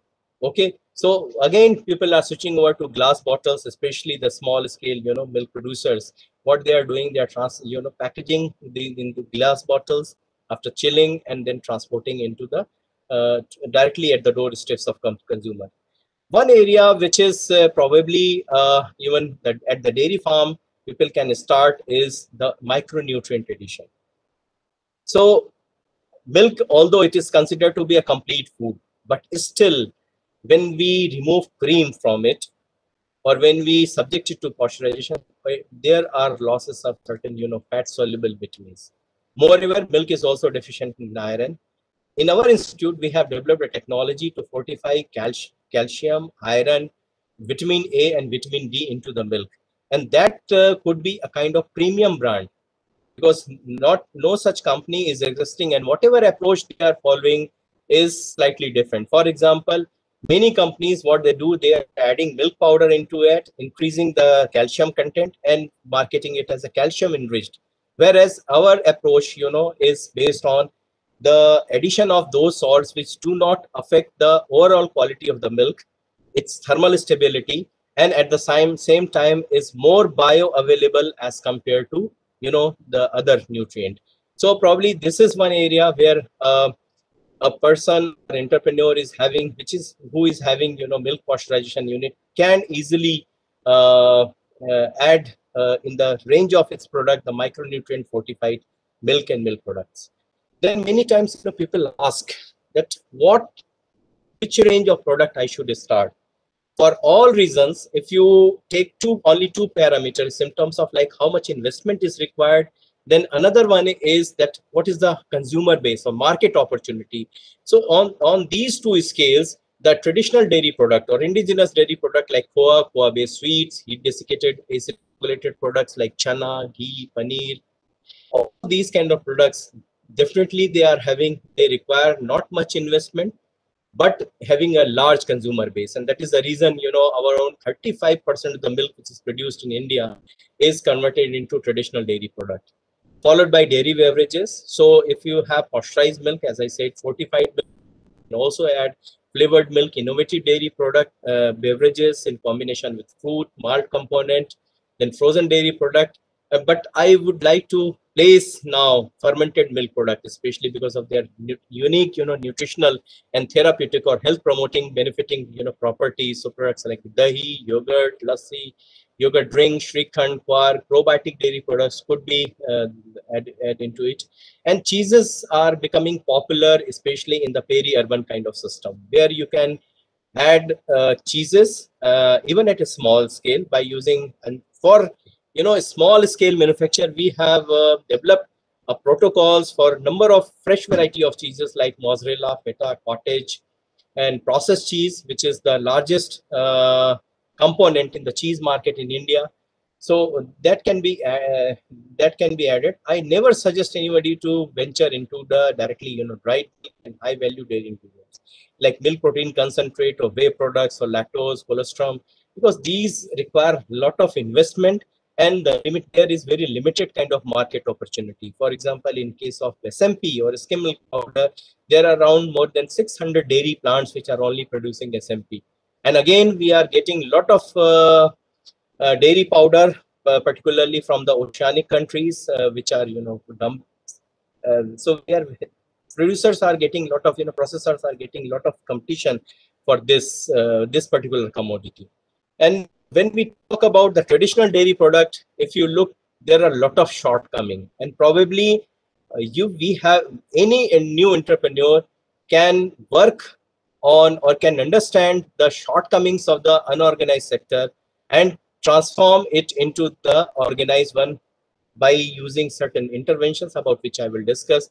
Why this traditional dairy product? Because you know they are very much integrated part of our uh, social, religious culture, or you know, uh, many of them are also getting gaining importance because of the unique nutritional value, uh, which is which is there, uh, there.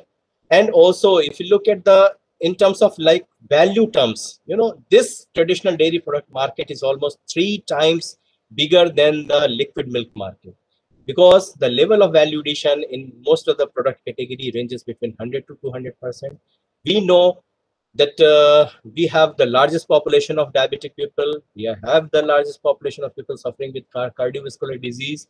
And such uh, in such population there uh, is always you know low demand for high calorie or high sugar or high fat product. But despite this fact you know our this traditional dairy product market is growing at a growth rate of around 15 to 20 percent per annum. If you look at the diversity you know there is a lot of products which are produced traditional dairy product which are produced by using different type of processing interventions some we call them as a primary process product some we call as secondary process product. So at every step of processing there is certain addition of value and also the longevity means that you can keep them for longer period of time. Koa, you cannot keep them under at room temperature. Sweet which is made by using Koa, it can be kept for longer duration maybe one week or 10 days or even if you go for a higher degree of desiccation, probably you can keep it at room temperature for a month together. So there are like, you know, there is great diversity and this is the time when we can introduce a product or sweet uh, which is popular in the eastern part of the country to the western or northern or southern part because people are uh, now preferring to experience new category of product and this is uh, basically the hallmark or also uh, one of the important component of the business model in many established companies like Amul, and Mother Dairy, which which keep on uh, adding new range of product into their product profile. Then prospective functional dairy production, because now people are more you know uh, health conscious. So like fortified milk product, I say it, then nutritionally modified traditional dairy product, like like you know the using uh, sugar alternatives or fat alternatives. And when you remove sugar or fat from the formulation, it is very difficult to replicate the same or simulate the similar kind of product of their natural counterpart.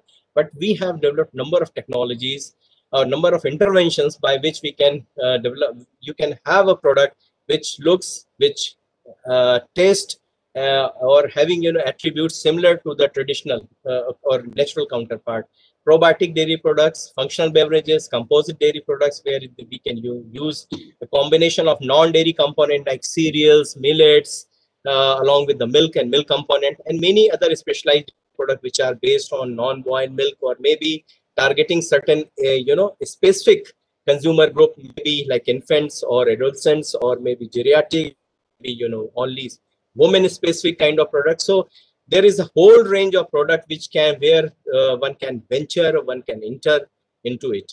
There's also a lot of query comes. So that's why I have made uh, this particular slide for this presentation is organic milk. You know, organic milk, uh, in many ways, it's a myth normally what people say, you know, any milk which is produced by the traditional uh, our are organic. No, organic agriculture is altogether different, uh, you know, uh, area. and uh, if you don't get the premium price for the organic milk, I, I will never suggest anybody to venture into it. Moreover, because, you know, for organic animal husbandry, first you have to convert or get, you know, your uh, inputs from the organic agriculture. So you have a dual, you know, challenge. First, you have to convert your agriculture into organic, then uh, ad adopt all organic animal husbandry practices. So a lot of products are already there. I will not go into the, you know, debate or discussion, but it, yes, there are many, you know, niche market where this organic milk uh, is could be one of the, um, you know, uh, product which you can start with. Then another area is where uh, one can venture not only into the product, but in the area of dietary supplement or maybe the pharmaceutical sector. So what we call nutraceutical. Okay, so dairy products could be a very uh, ideal kind of base material because if you look at the kind of compounds which are present in the milk or their digestive product, they have ability to modulate almost all our body system whether it is a weight management, heart health, bone health, mood, memory, cognitive ability, immune defense, digestive health, dental health.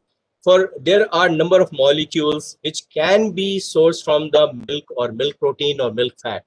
Okay, and num we have already, you know, many other institutes already have developed number of technologies how to fractionate, isolate, and make these products. And generally, these products are available uh, mostly they are imported one they are available many products for example lactoferrin peptides you know like whey protein concentrate uh, gmp cla all these kind of compounds are available but the thing is these compounds are it's imported one and we have you know a number of if you look at the number of species we have buffaloes we have uh, cows, we have a goat, we have camel, we have sheep, we have donkey. So all different kind of milk can be used for the production of these kind of dietary supplements and also, you know, like uh, uh, nutraceutical molecule. Probably some of you may think of is non-boiled milk because non-boiled milk in all ways, they are much superior as compared to the boiled milk uh, and their because their compositional similarity is like human milk. So if we don't have uh, you know uh, uh, like when mother milk is not available for feeding of infant uh, we can always recommend you know goat milk because it is having around 75 to 88 percent homology donkey milk is even further you know almost 90 to 95 percent homology with the uh, like you know uh, uh, with the mother milk. And these milk are also good for people who are suffering with uh, very various kind of you know diseases uh, aged people. So we have started working in this direction. In our institute we are uh, in fact supporting many entrepreneurs not only in goat milk but also in camel milk so one of our entrepreneur that is our uh, incubatee is Aadvik uh, which is into camel milk based chocolates, camel milk powder, goat milk powder, and now we are working on camel and goat milk based cheeses uh, for the you know export market point of view. Then another area which is uh, could be a very promising is for especially for entrepreneur is the equipments, dairy processing or food processing or packaging equipments, and this could be a one our uh, you know strategy for uh, getting the Make in India brand. So in terms of like uh, mechanization part, one of the bottleneck uh, in for effective upgradation and large scale production of dairy dairy uh, our traditional dairy product is lack of proper equipment. So in our institute, we have developed number of equipments and some and likewise, similarly, when there are many other organizations where they have developed the equipments uh, which can handle around 50 liters to as high as around 10,000 liters of milk per day. So these equipments, so any entrepreneur can also think of adopting or uh, utilizing these or, you know, uh, means venturing into the dairy processing or packaging equipment manufacturing unit. Otherwise also, these equipments can also be utilized or can be applied by the uh, entrepreneur to uh, you know uh, for semi mechanization part like you know in, in, for traditional dairy product manufacturing process line for example this is a kind of system inline system which we have developed in our institute consists of a scraped surface exchanger for concentrating the milk and it is also attached with the conical process weight so in one batch around uh, per hour you can handle around 200 liters of milk to convert into products like multiple range of products like poa, barfi, rabdi, basundi, then uh, uh, ghee, uh, kheer, gajar pak. So you can make multiple range of product by using this kind of system. One thing which is always lacking in our traditional uh, milk or unorganized sector is packaging component.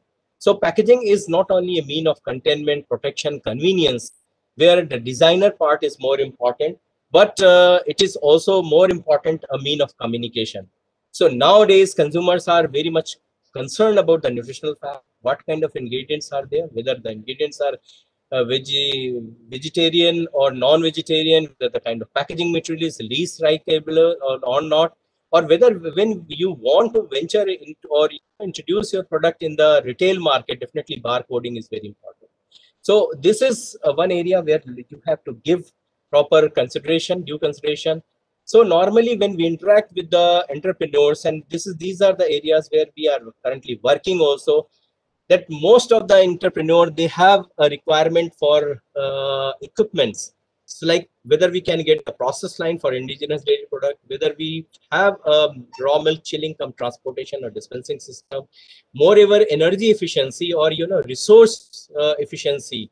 Resource optimization is another uh, important component when you have to get a proper you know return on your investment. So energy efficient kind of system service system for small scale production effective packaging line especially for smaller quantity of product. And you know especially in the northern india there is a lot of you know seasonality as far as the value added dairy products are concerned.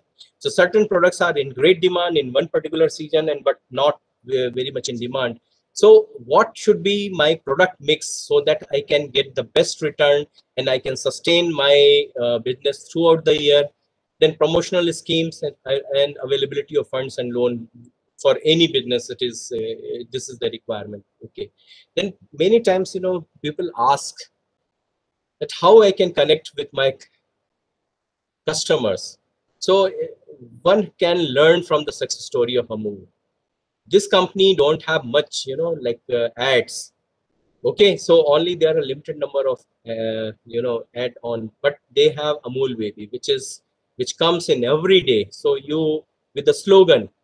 Okay so the only thing is how to connect. So in that regard we always suggest you make a publication you know pamphlet uh, in your city.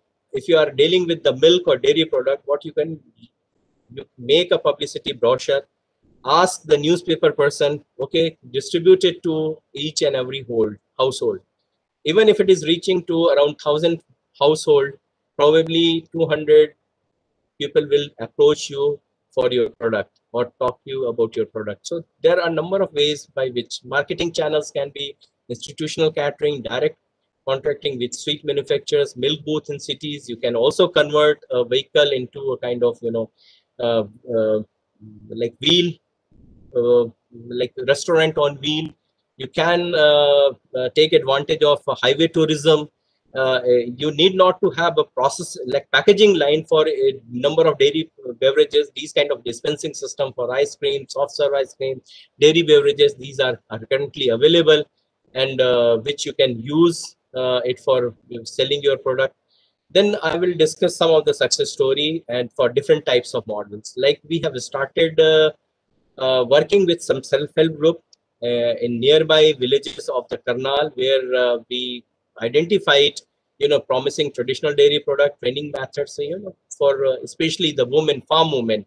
and uh, we interacted with these women, uh, asked them whether you can collect surplus milk from each household, or at least you know from those households where people are willing to sell you uh, their produ- product, so that you can get good quality raw material, and then we trained them.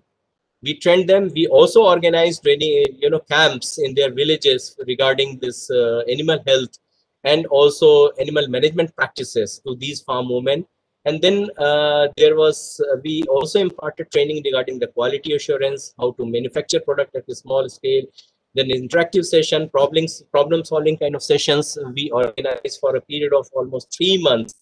And these women were working as a laborer. Then they established anmol mahila dudh samiti and currently well this unit was established in 2012 and uh, almost eight years you know so these 16 farm women they manufacture different type of product and marketing in the Karnal market. Similarly, we have also assisted three, four other, you know, uh, the self-help group kind of uh, models in Karnal and the nearby districts of districts of Haryana.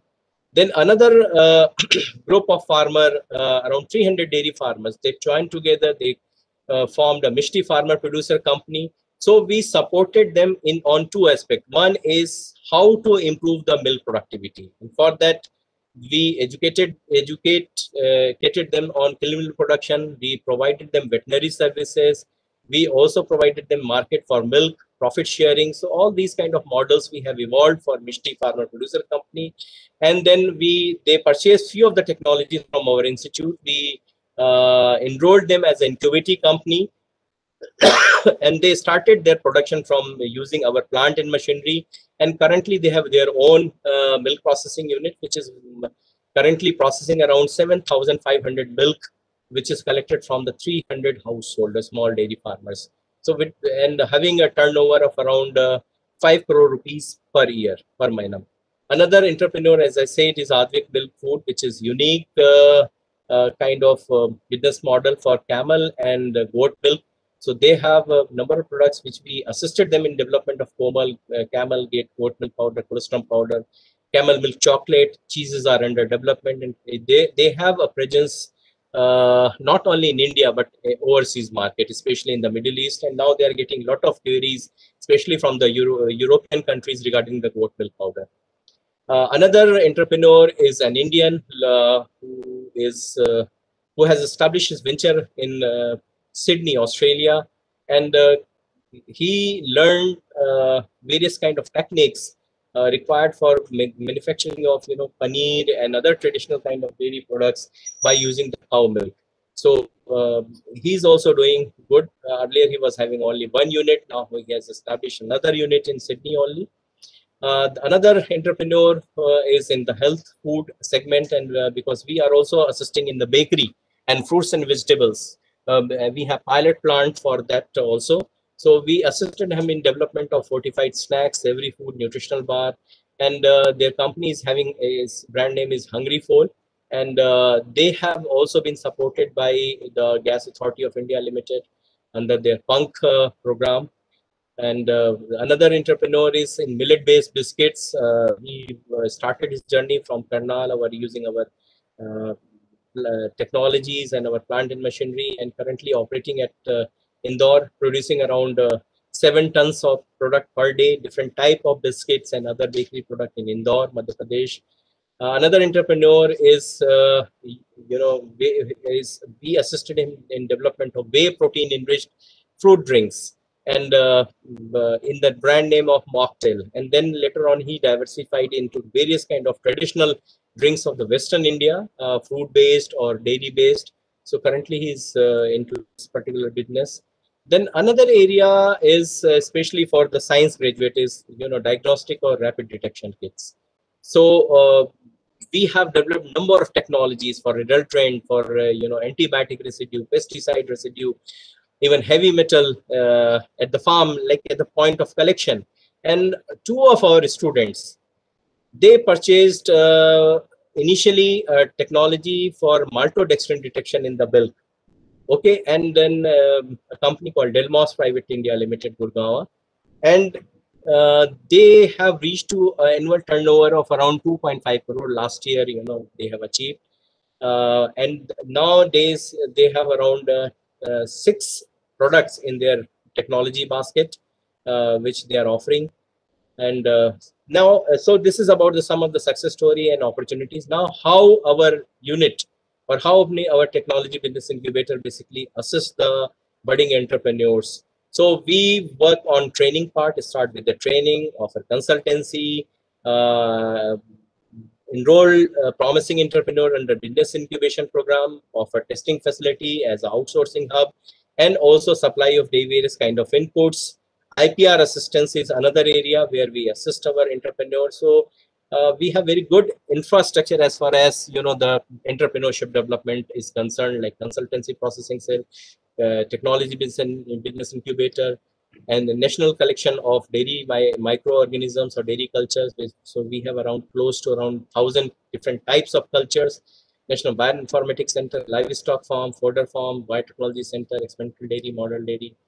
And uh, basically we organize different type of training program. And one very uh, historical aspect is that uh, uh Bapu Mahatma Gandhi ji, uh, unfortunately, uh, this is, you know, like day when we all remember him.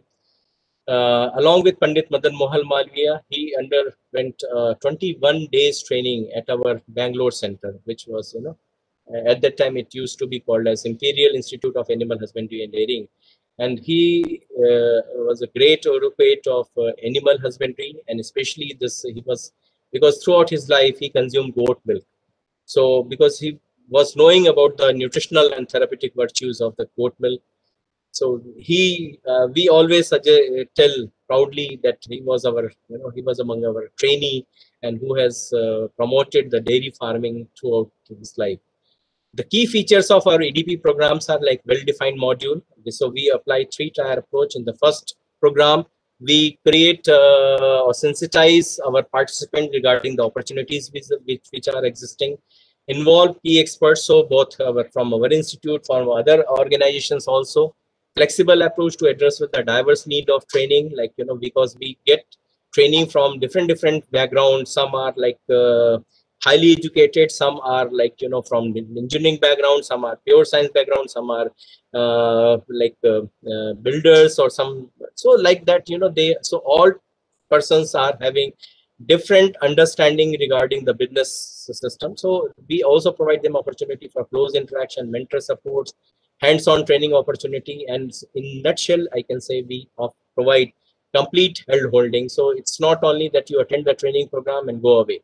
We always keep on uh, uh, telling you that what you are doing, why you are not doing. If you are not doing, then uh, what next? Okay.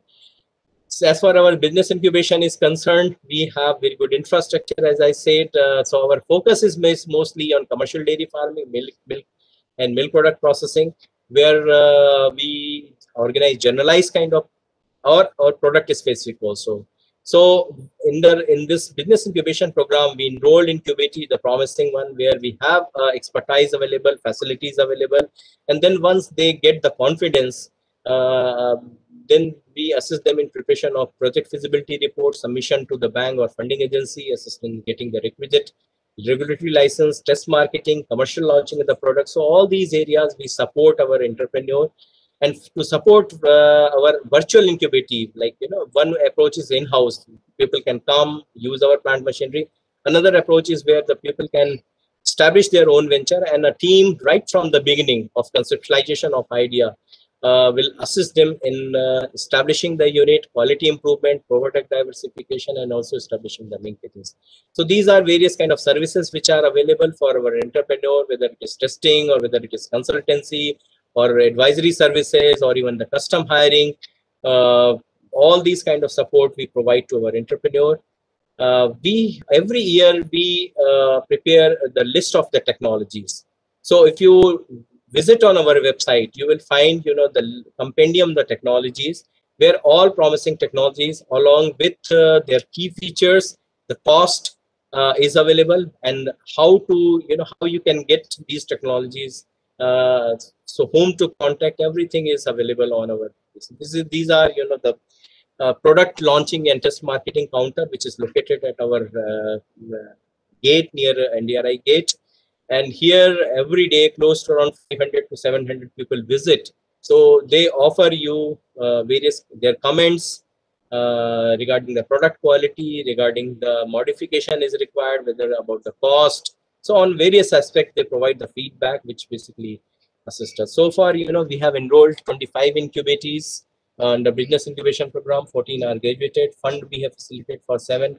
Apart from that we have also enrolled uh, uh, 59 uh, entrepreneur for technical support and we also assisted around 125 entrepreneurs for the startup in establishing of their business venture. Uh, we also try assisting in mobilization of the fund for incubating company. So far around now this figure has reached to seven uh, of our incubating has uh, received you know startup recognition. These are the present incubating, graduated incubating. then apart from that, we are also working very strongly because we have around 700 students uh, on campus. So we are also trying to promote the entrepreneurial skills uh, in our student. And for that, we have launched a program, Worldwide Learn, and the experiential learning program in our institute.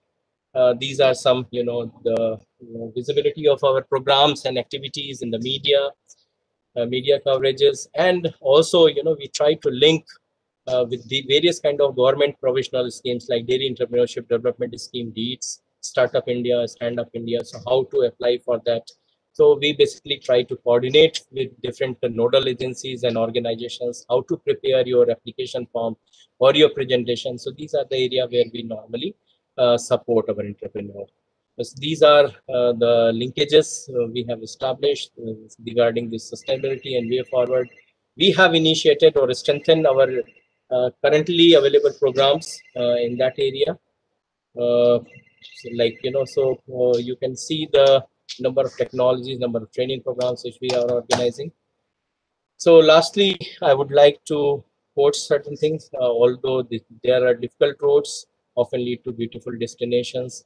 The hard work put you where the good luck can find you. So be optimistic be positive and if you feel that at any stage of your uh, entrepreneurial journey we could be of any help or assistance or we can be we can partner with you, you are most welcome. Thank you. Thank you for your patience uh, hearing and uh, thank you. If you have any query, you can. these are the different mail, uh, like you know, uh, mail IDs uh, where you can contact on these mail IDs regarding the technologies, with the, regarding our business incubation program and the training program. Thank you. Thank you, sir, for uh, sharing a 360 degree view on entrepreneurship opportunities in dairy sector. And uh, the session is open for Q&A, sir. I've also dropped uh, the questions in uh, WhatsApp group also. Apart from that, uh, people can uh, raise their hands or, you know, enter their question in the chat box. Thank you.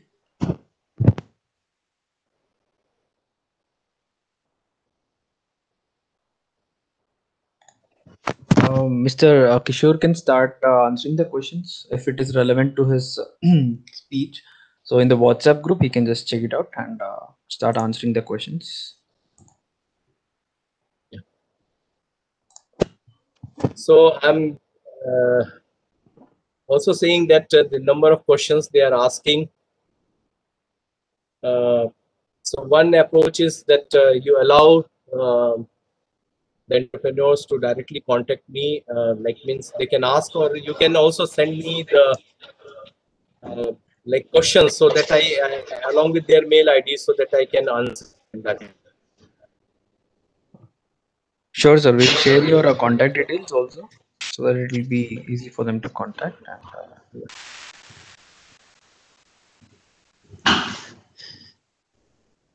I have only presented uh, very little but we are doing at our institute. Regards, there was one question regarding the technologies of cheese making and all that. Okay, so I would like to share here that uh, we are not confining ourselves only uh, to cow or buffalo milk-based cheeses, but we are also working on uh, goat milk and camel milk based kind of cheeses which are having a lot of export potential especially in the middle east market so cheeses is one category, and we understand that uh, Indian palate generally prefer the fresher varieties of cheeses, uh, where the difficulty is the shelf life. But we have addressed those issues also. So like we have technology for feta cheese, we have technology for cottage cheese, we have technology for whey-based cheeses like ricotta. So these technologies, you know, uh, are available, uh, and we also organize training program. And shortly we will uh, upload our schedule of our training program on our website, so anybody can approach us uh, for enrolling in those training program.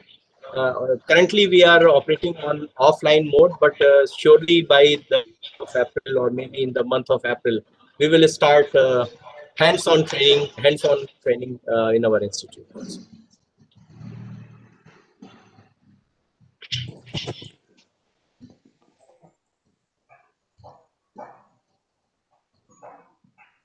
Yes, Mr. Kishore, uh, you can go ahead. Okay. Uh, thank, thank, uh, thank you, Professor A.K. Singh. It's a wonderful session uh, uh, uh, on uh, different aspects of dairy farming and different aspects of uh, production tech technologies available at NDRI. Th- thank you for that. Okay, thank you. There, there were a couple of questions directed uh, to Sid's Farm on, um, you know, one is NPOP uh, on uh, organic certification. And there was one uh, question on whether uh, farmers, uh, or potential dairy farmers can come to us for training. Um, yeah. Yeah. So I would say, Yeah. I would like to say that we some of our training programs are like uh, you know paid payment basis, but every year close to training program we organize for the people who who cannot pay. Okay, only thing is you have to bear your uh, travel expenses or your living expenses and training charges will be borne by us only as a part of our social corporate responsibility.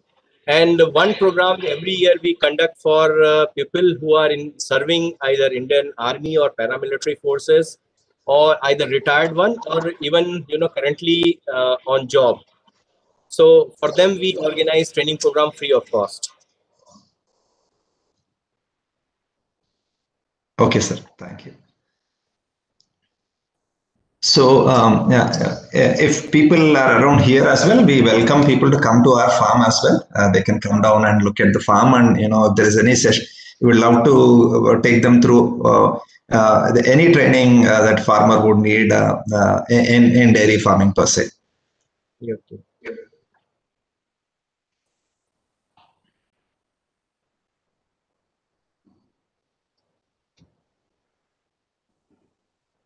Hello yes Yes, sir. Yes, sir. So um, the questions are in the group, sir, in the WhatsApp group. So either of the speakers can take up the questions and answer respectively. So like regarding uh, training there are a number of questions so I, as i said that uh, by next week you know means maybe on the 1st of february uh, if you look at our website or 2nd february you will find out the training dates and uh, along with you know for those kind of yeah. Yes. I have also kept your website, sir. That is ndratbi.com. yeah Yeah. And uh, regarding the initial uh, part of the presentation, so a couple of questions like okay uh, then there is uh, another question which has come from planning for plant-based milk and milk products uh, basically uh, this is one area where you'll find you know the dairy technologists are very emotional about you know milk and milk products and when it comes to the plant-based one there is a lot of debate is going on but uh, it's a consumer choice and uh, um, what we have observed that uh, when soya beverage was uh, launched in india in many places.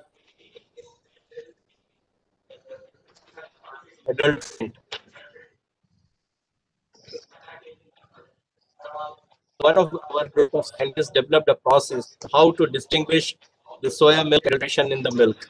So uh, this this is the reason why people are not very forthcoming. But uh, uh, if anybody is interested to get technical know-how regarding this plant-based milk, we can support. We have uh, information, we have knowledge, we have uh, practical experience, so we can support them.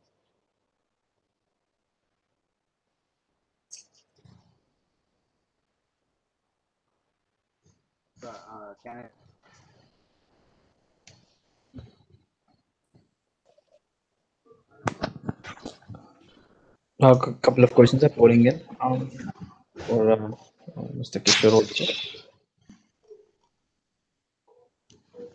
So um, there was there is one question to us about uh, uh, how did you guys um, deal with coronavirus?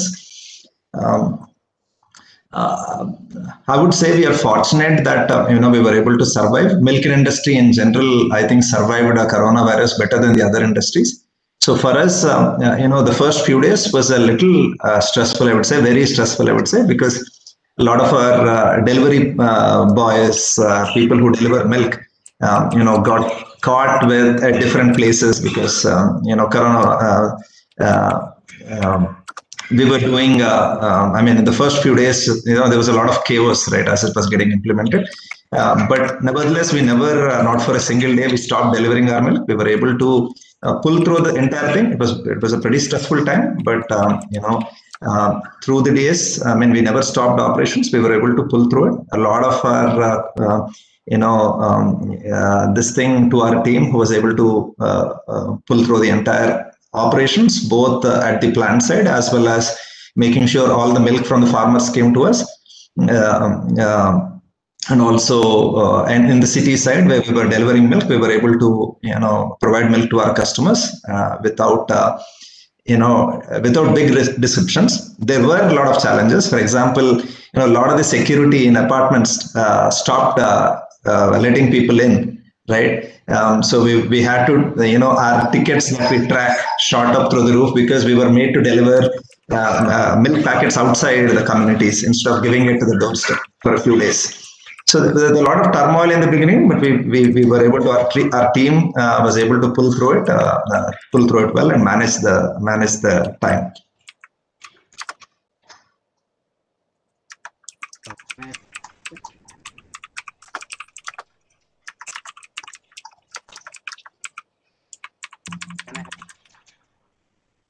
Yes, please.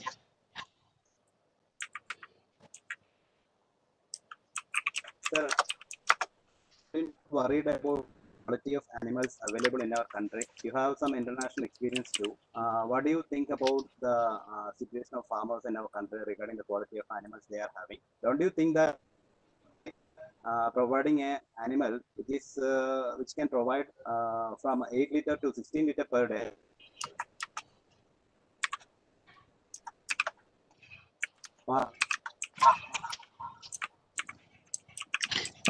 uh, see, I, uh, we believe in uh, you know uh, taking uh, one step at a time.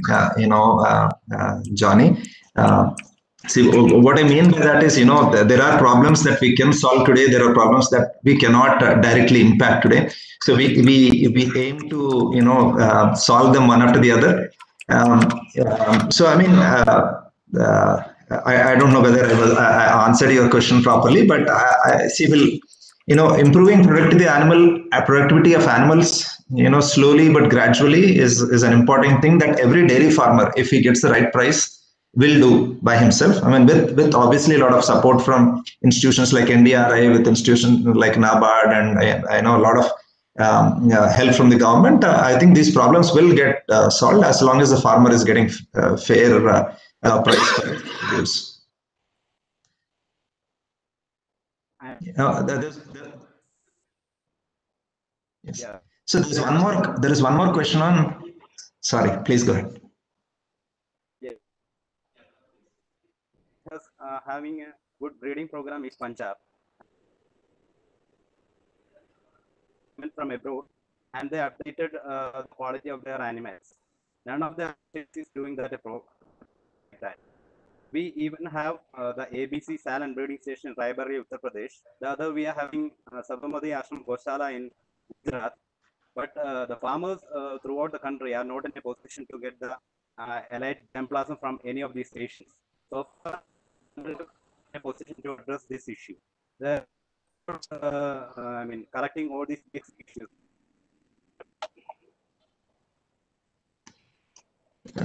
Sir, I'm not a I'm, I'm not a big expert on this, so I'll probably divert the question to uh, Professor uh, Professor Singh. Uh, this is regarding. Uh, can you again ask the question? Yeah. Plasm available across the country is a primary concern to all the farmers. Even though yes. we have breeding stations in India, we do have some private players uh, who are bringing uh, semen from a we don't have a uh, distribution where the farmer get the choice to choose the uh, germplasm that he is looking out for out of the all uh, that is available across the country. Without having such a system in place, farmer get an elite animal, or how can he uh, improve the breed quality of the animal? That's a, a primary problem the farmer uh, from our observation. Okay. Uh, see, uh, uh, like before going for any uh, like you know like a breeding program and all that. First of all, as a animal keeper, you have to understand, you have to learn exactly how to breeding is done, uh, with what kind of animal you have to do any uh, breeding, because you know uh, whatever uh, like in, in the initial stage uh, of our uh, white revolution efforts, you know we uh, totally adopted the cross breeding program okay? And there we uh, like uh, used our high productive animals for breeding.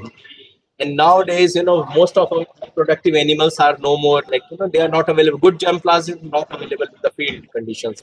However, i'm talking about the indigenous one. But hamara like our strategy should have been that uh, we should use the low productive animal with the high milk yielder from the exotic varieties, whether it's Holstein or Jersey or Friesian, whatever, you know. So nowadays, regarding your this question, there are a number of private play players. I always suggest many of uh, the people that why not you uh, uh, you become a kind of and especially the dairy graduates or agriculture graduates they can uh, have a network from these different kind of uh, you know semen and other agro input uh, like you know animal uh, input companies. From where you source and you provide them to the uh, needy ones. So like we have few incubating companies who have enrolled in this area whom we are training whom we are assisting to develop this kind of you know activity as a business model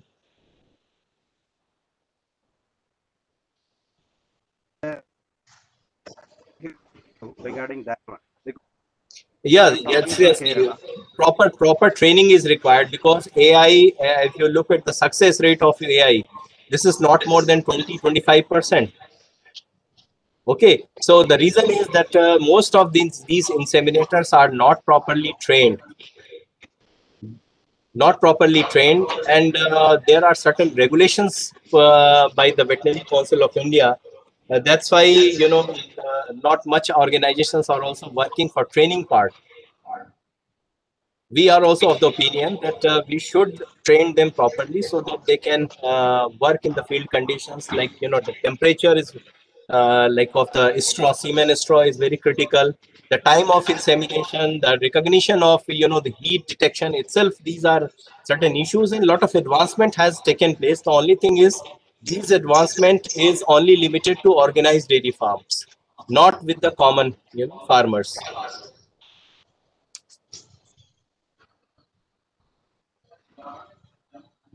Actually, the Kerala Livestock Development Board is uh, having the network uh, over Kerala, okay uh, which is a state-owned entity, and uh, from uh, their field stations or uh, their breeding stations. And uh, Yeah. here the farmers are uh, not getting a chance to get the uh, semen from outside of, of the state. And uh, secondly, even if, if the farmer or the uh, dairy unit is having an LN container, uh, filled with uh, liquid nitrogen every 20 days and that supply is not possible in many areas and even though the government uh, of the state has the uh, and being uh, uh, entity of the government they are not uh, i mean uh, helpful uh, or they are not willing to provide the liquid nitrogen that is necessary to keep up the germplasm uh, the uh, i mean uh, the pub, i mean sorry the government infrastructure and the private as uh, uh, are doing in a different way. And both are looking into their own business rather than i mean uplifting the interest of the farmer or concentrating on that. Yes yes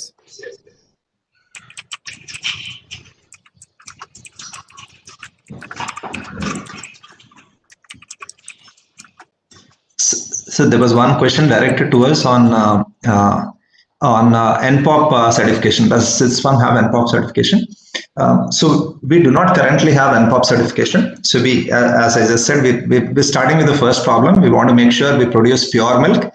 Uh, and by pure milk, we're first starting with We make sure that uh, our milk does not have any in any kind of adulterants, uh, uh, any kind of preservatives, uh, then antibiotics, and then hormones.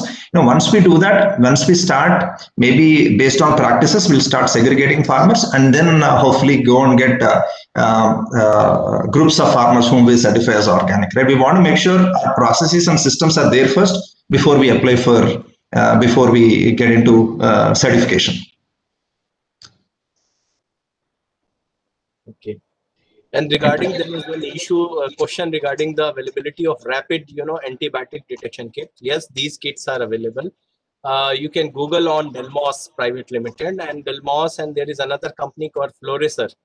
These two companies are incubating company of NDRI Karnal, and they have a kit which uh, can be used at the collection point itself for detection of antibiotic residues. Then there is another question regarding the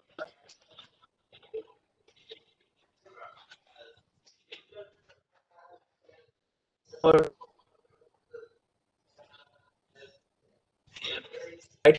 uh, what is uh, in in vitro or in vivo system, uh, especially in the animal small, small animal model, like you know mice or rat model, there we can assist them.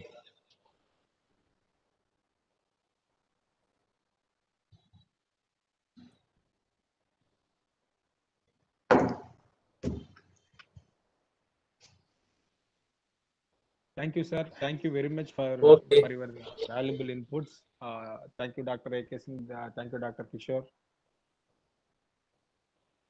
Uh, any more questions from the startups? We can raise your hand. Uh, we can unmute so that you can directly talk.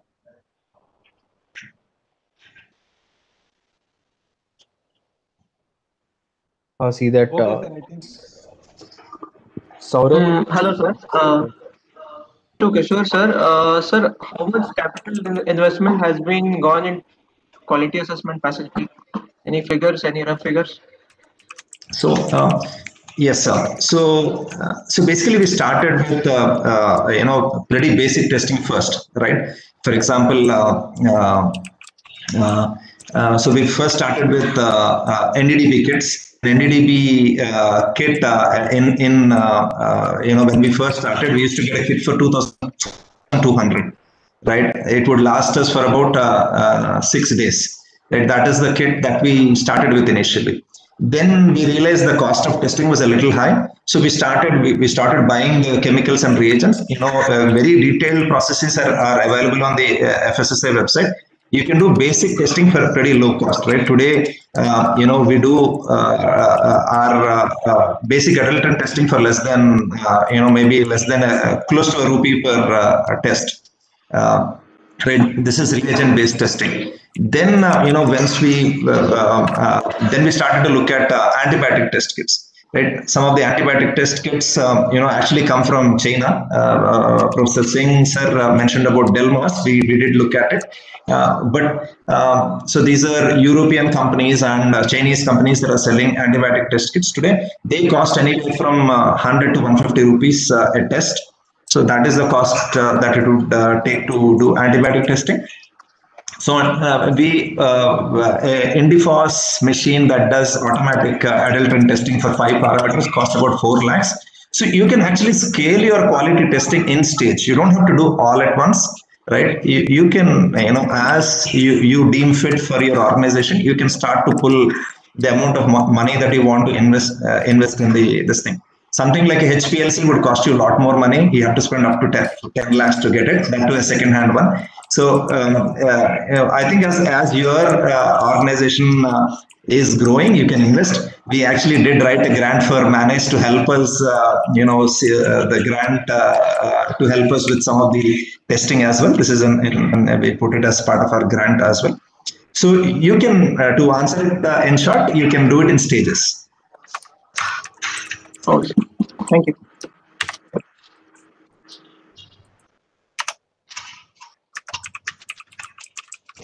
That was a great session and request uh, Mr. Yuvraj uh, to go with the vote of thanks. Thank you.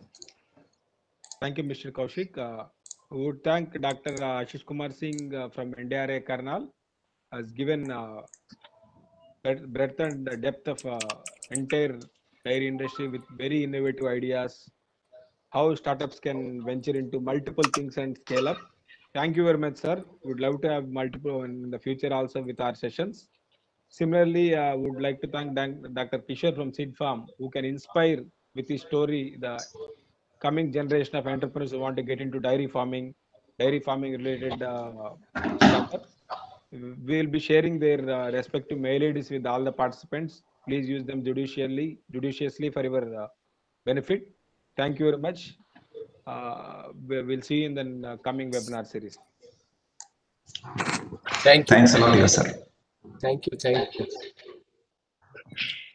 Thank you, one and all. Uh, as said, uh, we shall be going with the next webinar on the next Saturday, that is 11 a.m. IST. Also, uh, we have our uh, you know on website. We have the registration page, so one can go ahead and register for the webinar, and just tune into the you know next webinar on the other session. And uh, thank you. Thank you. Thank you. Thank you all. Thank you. Thanks, guys.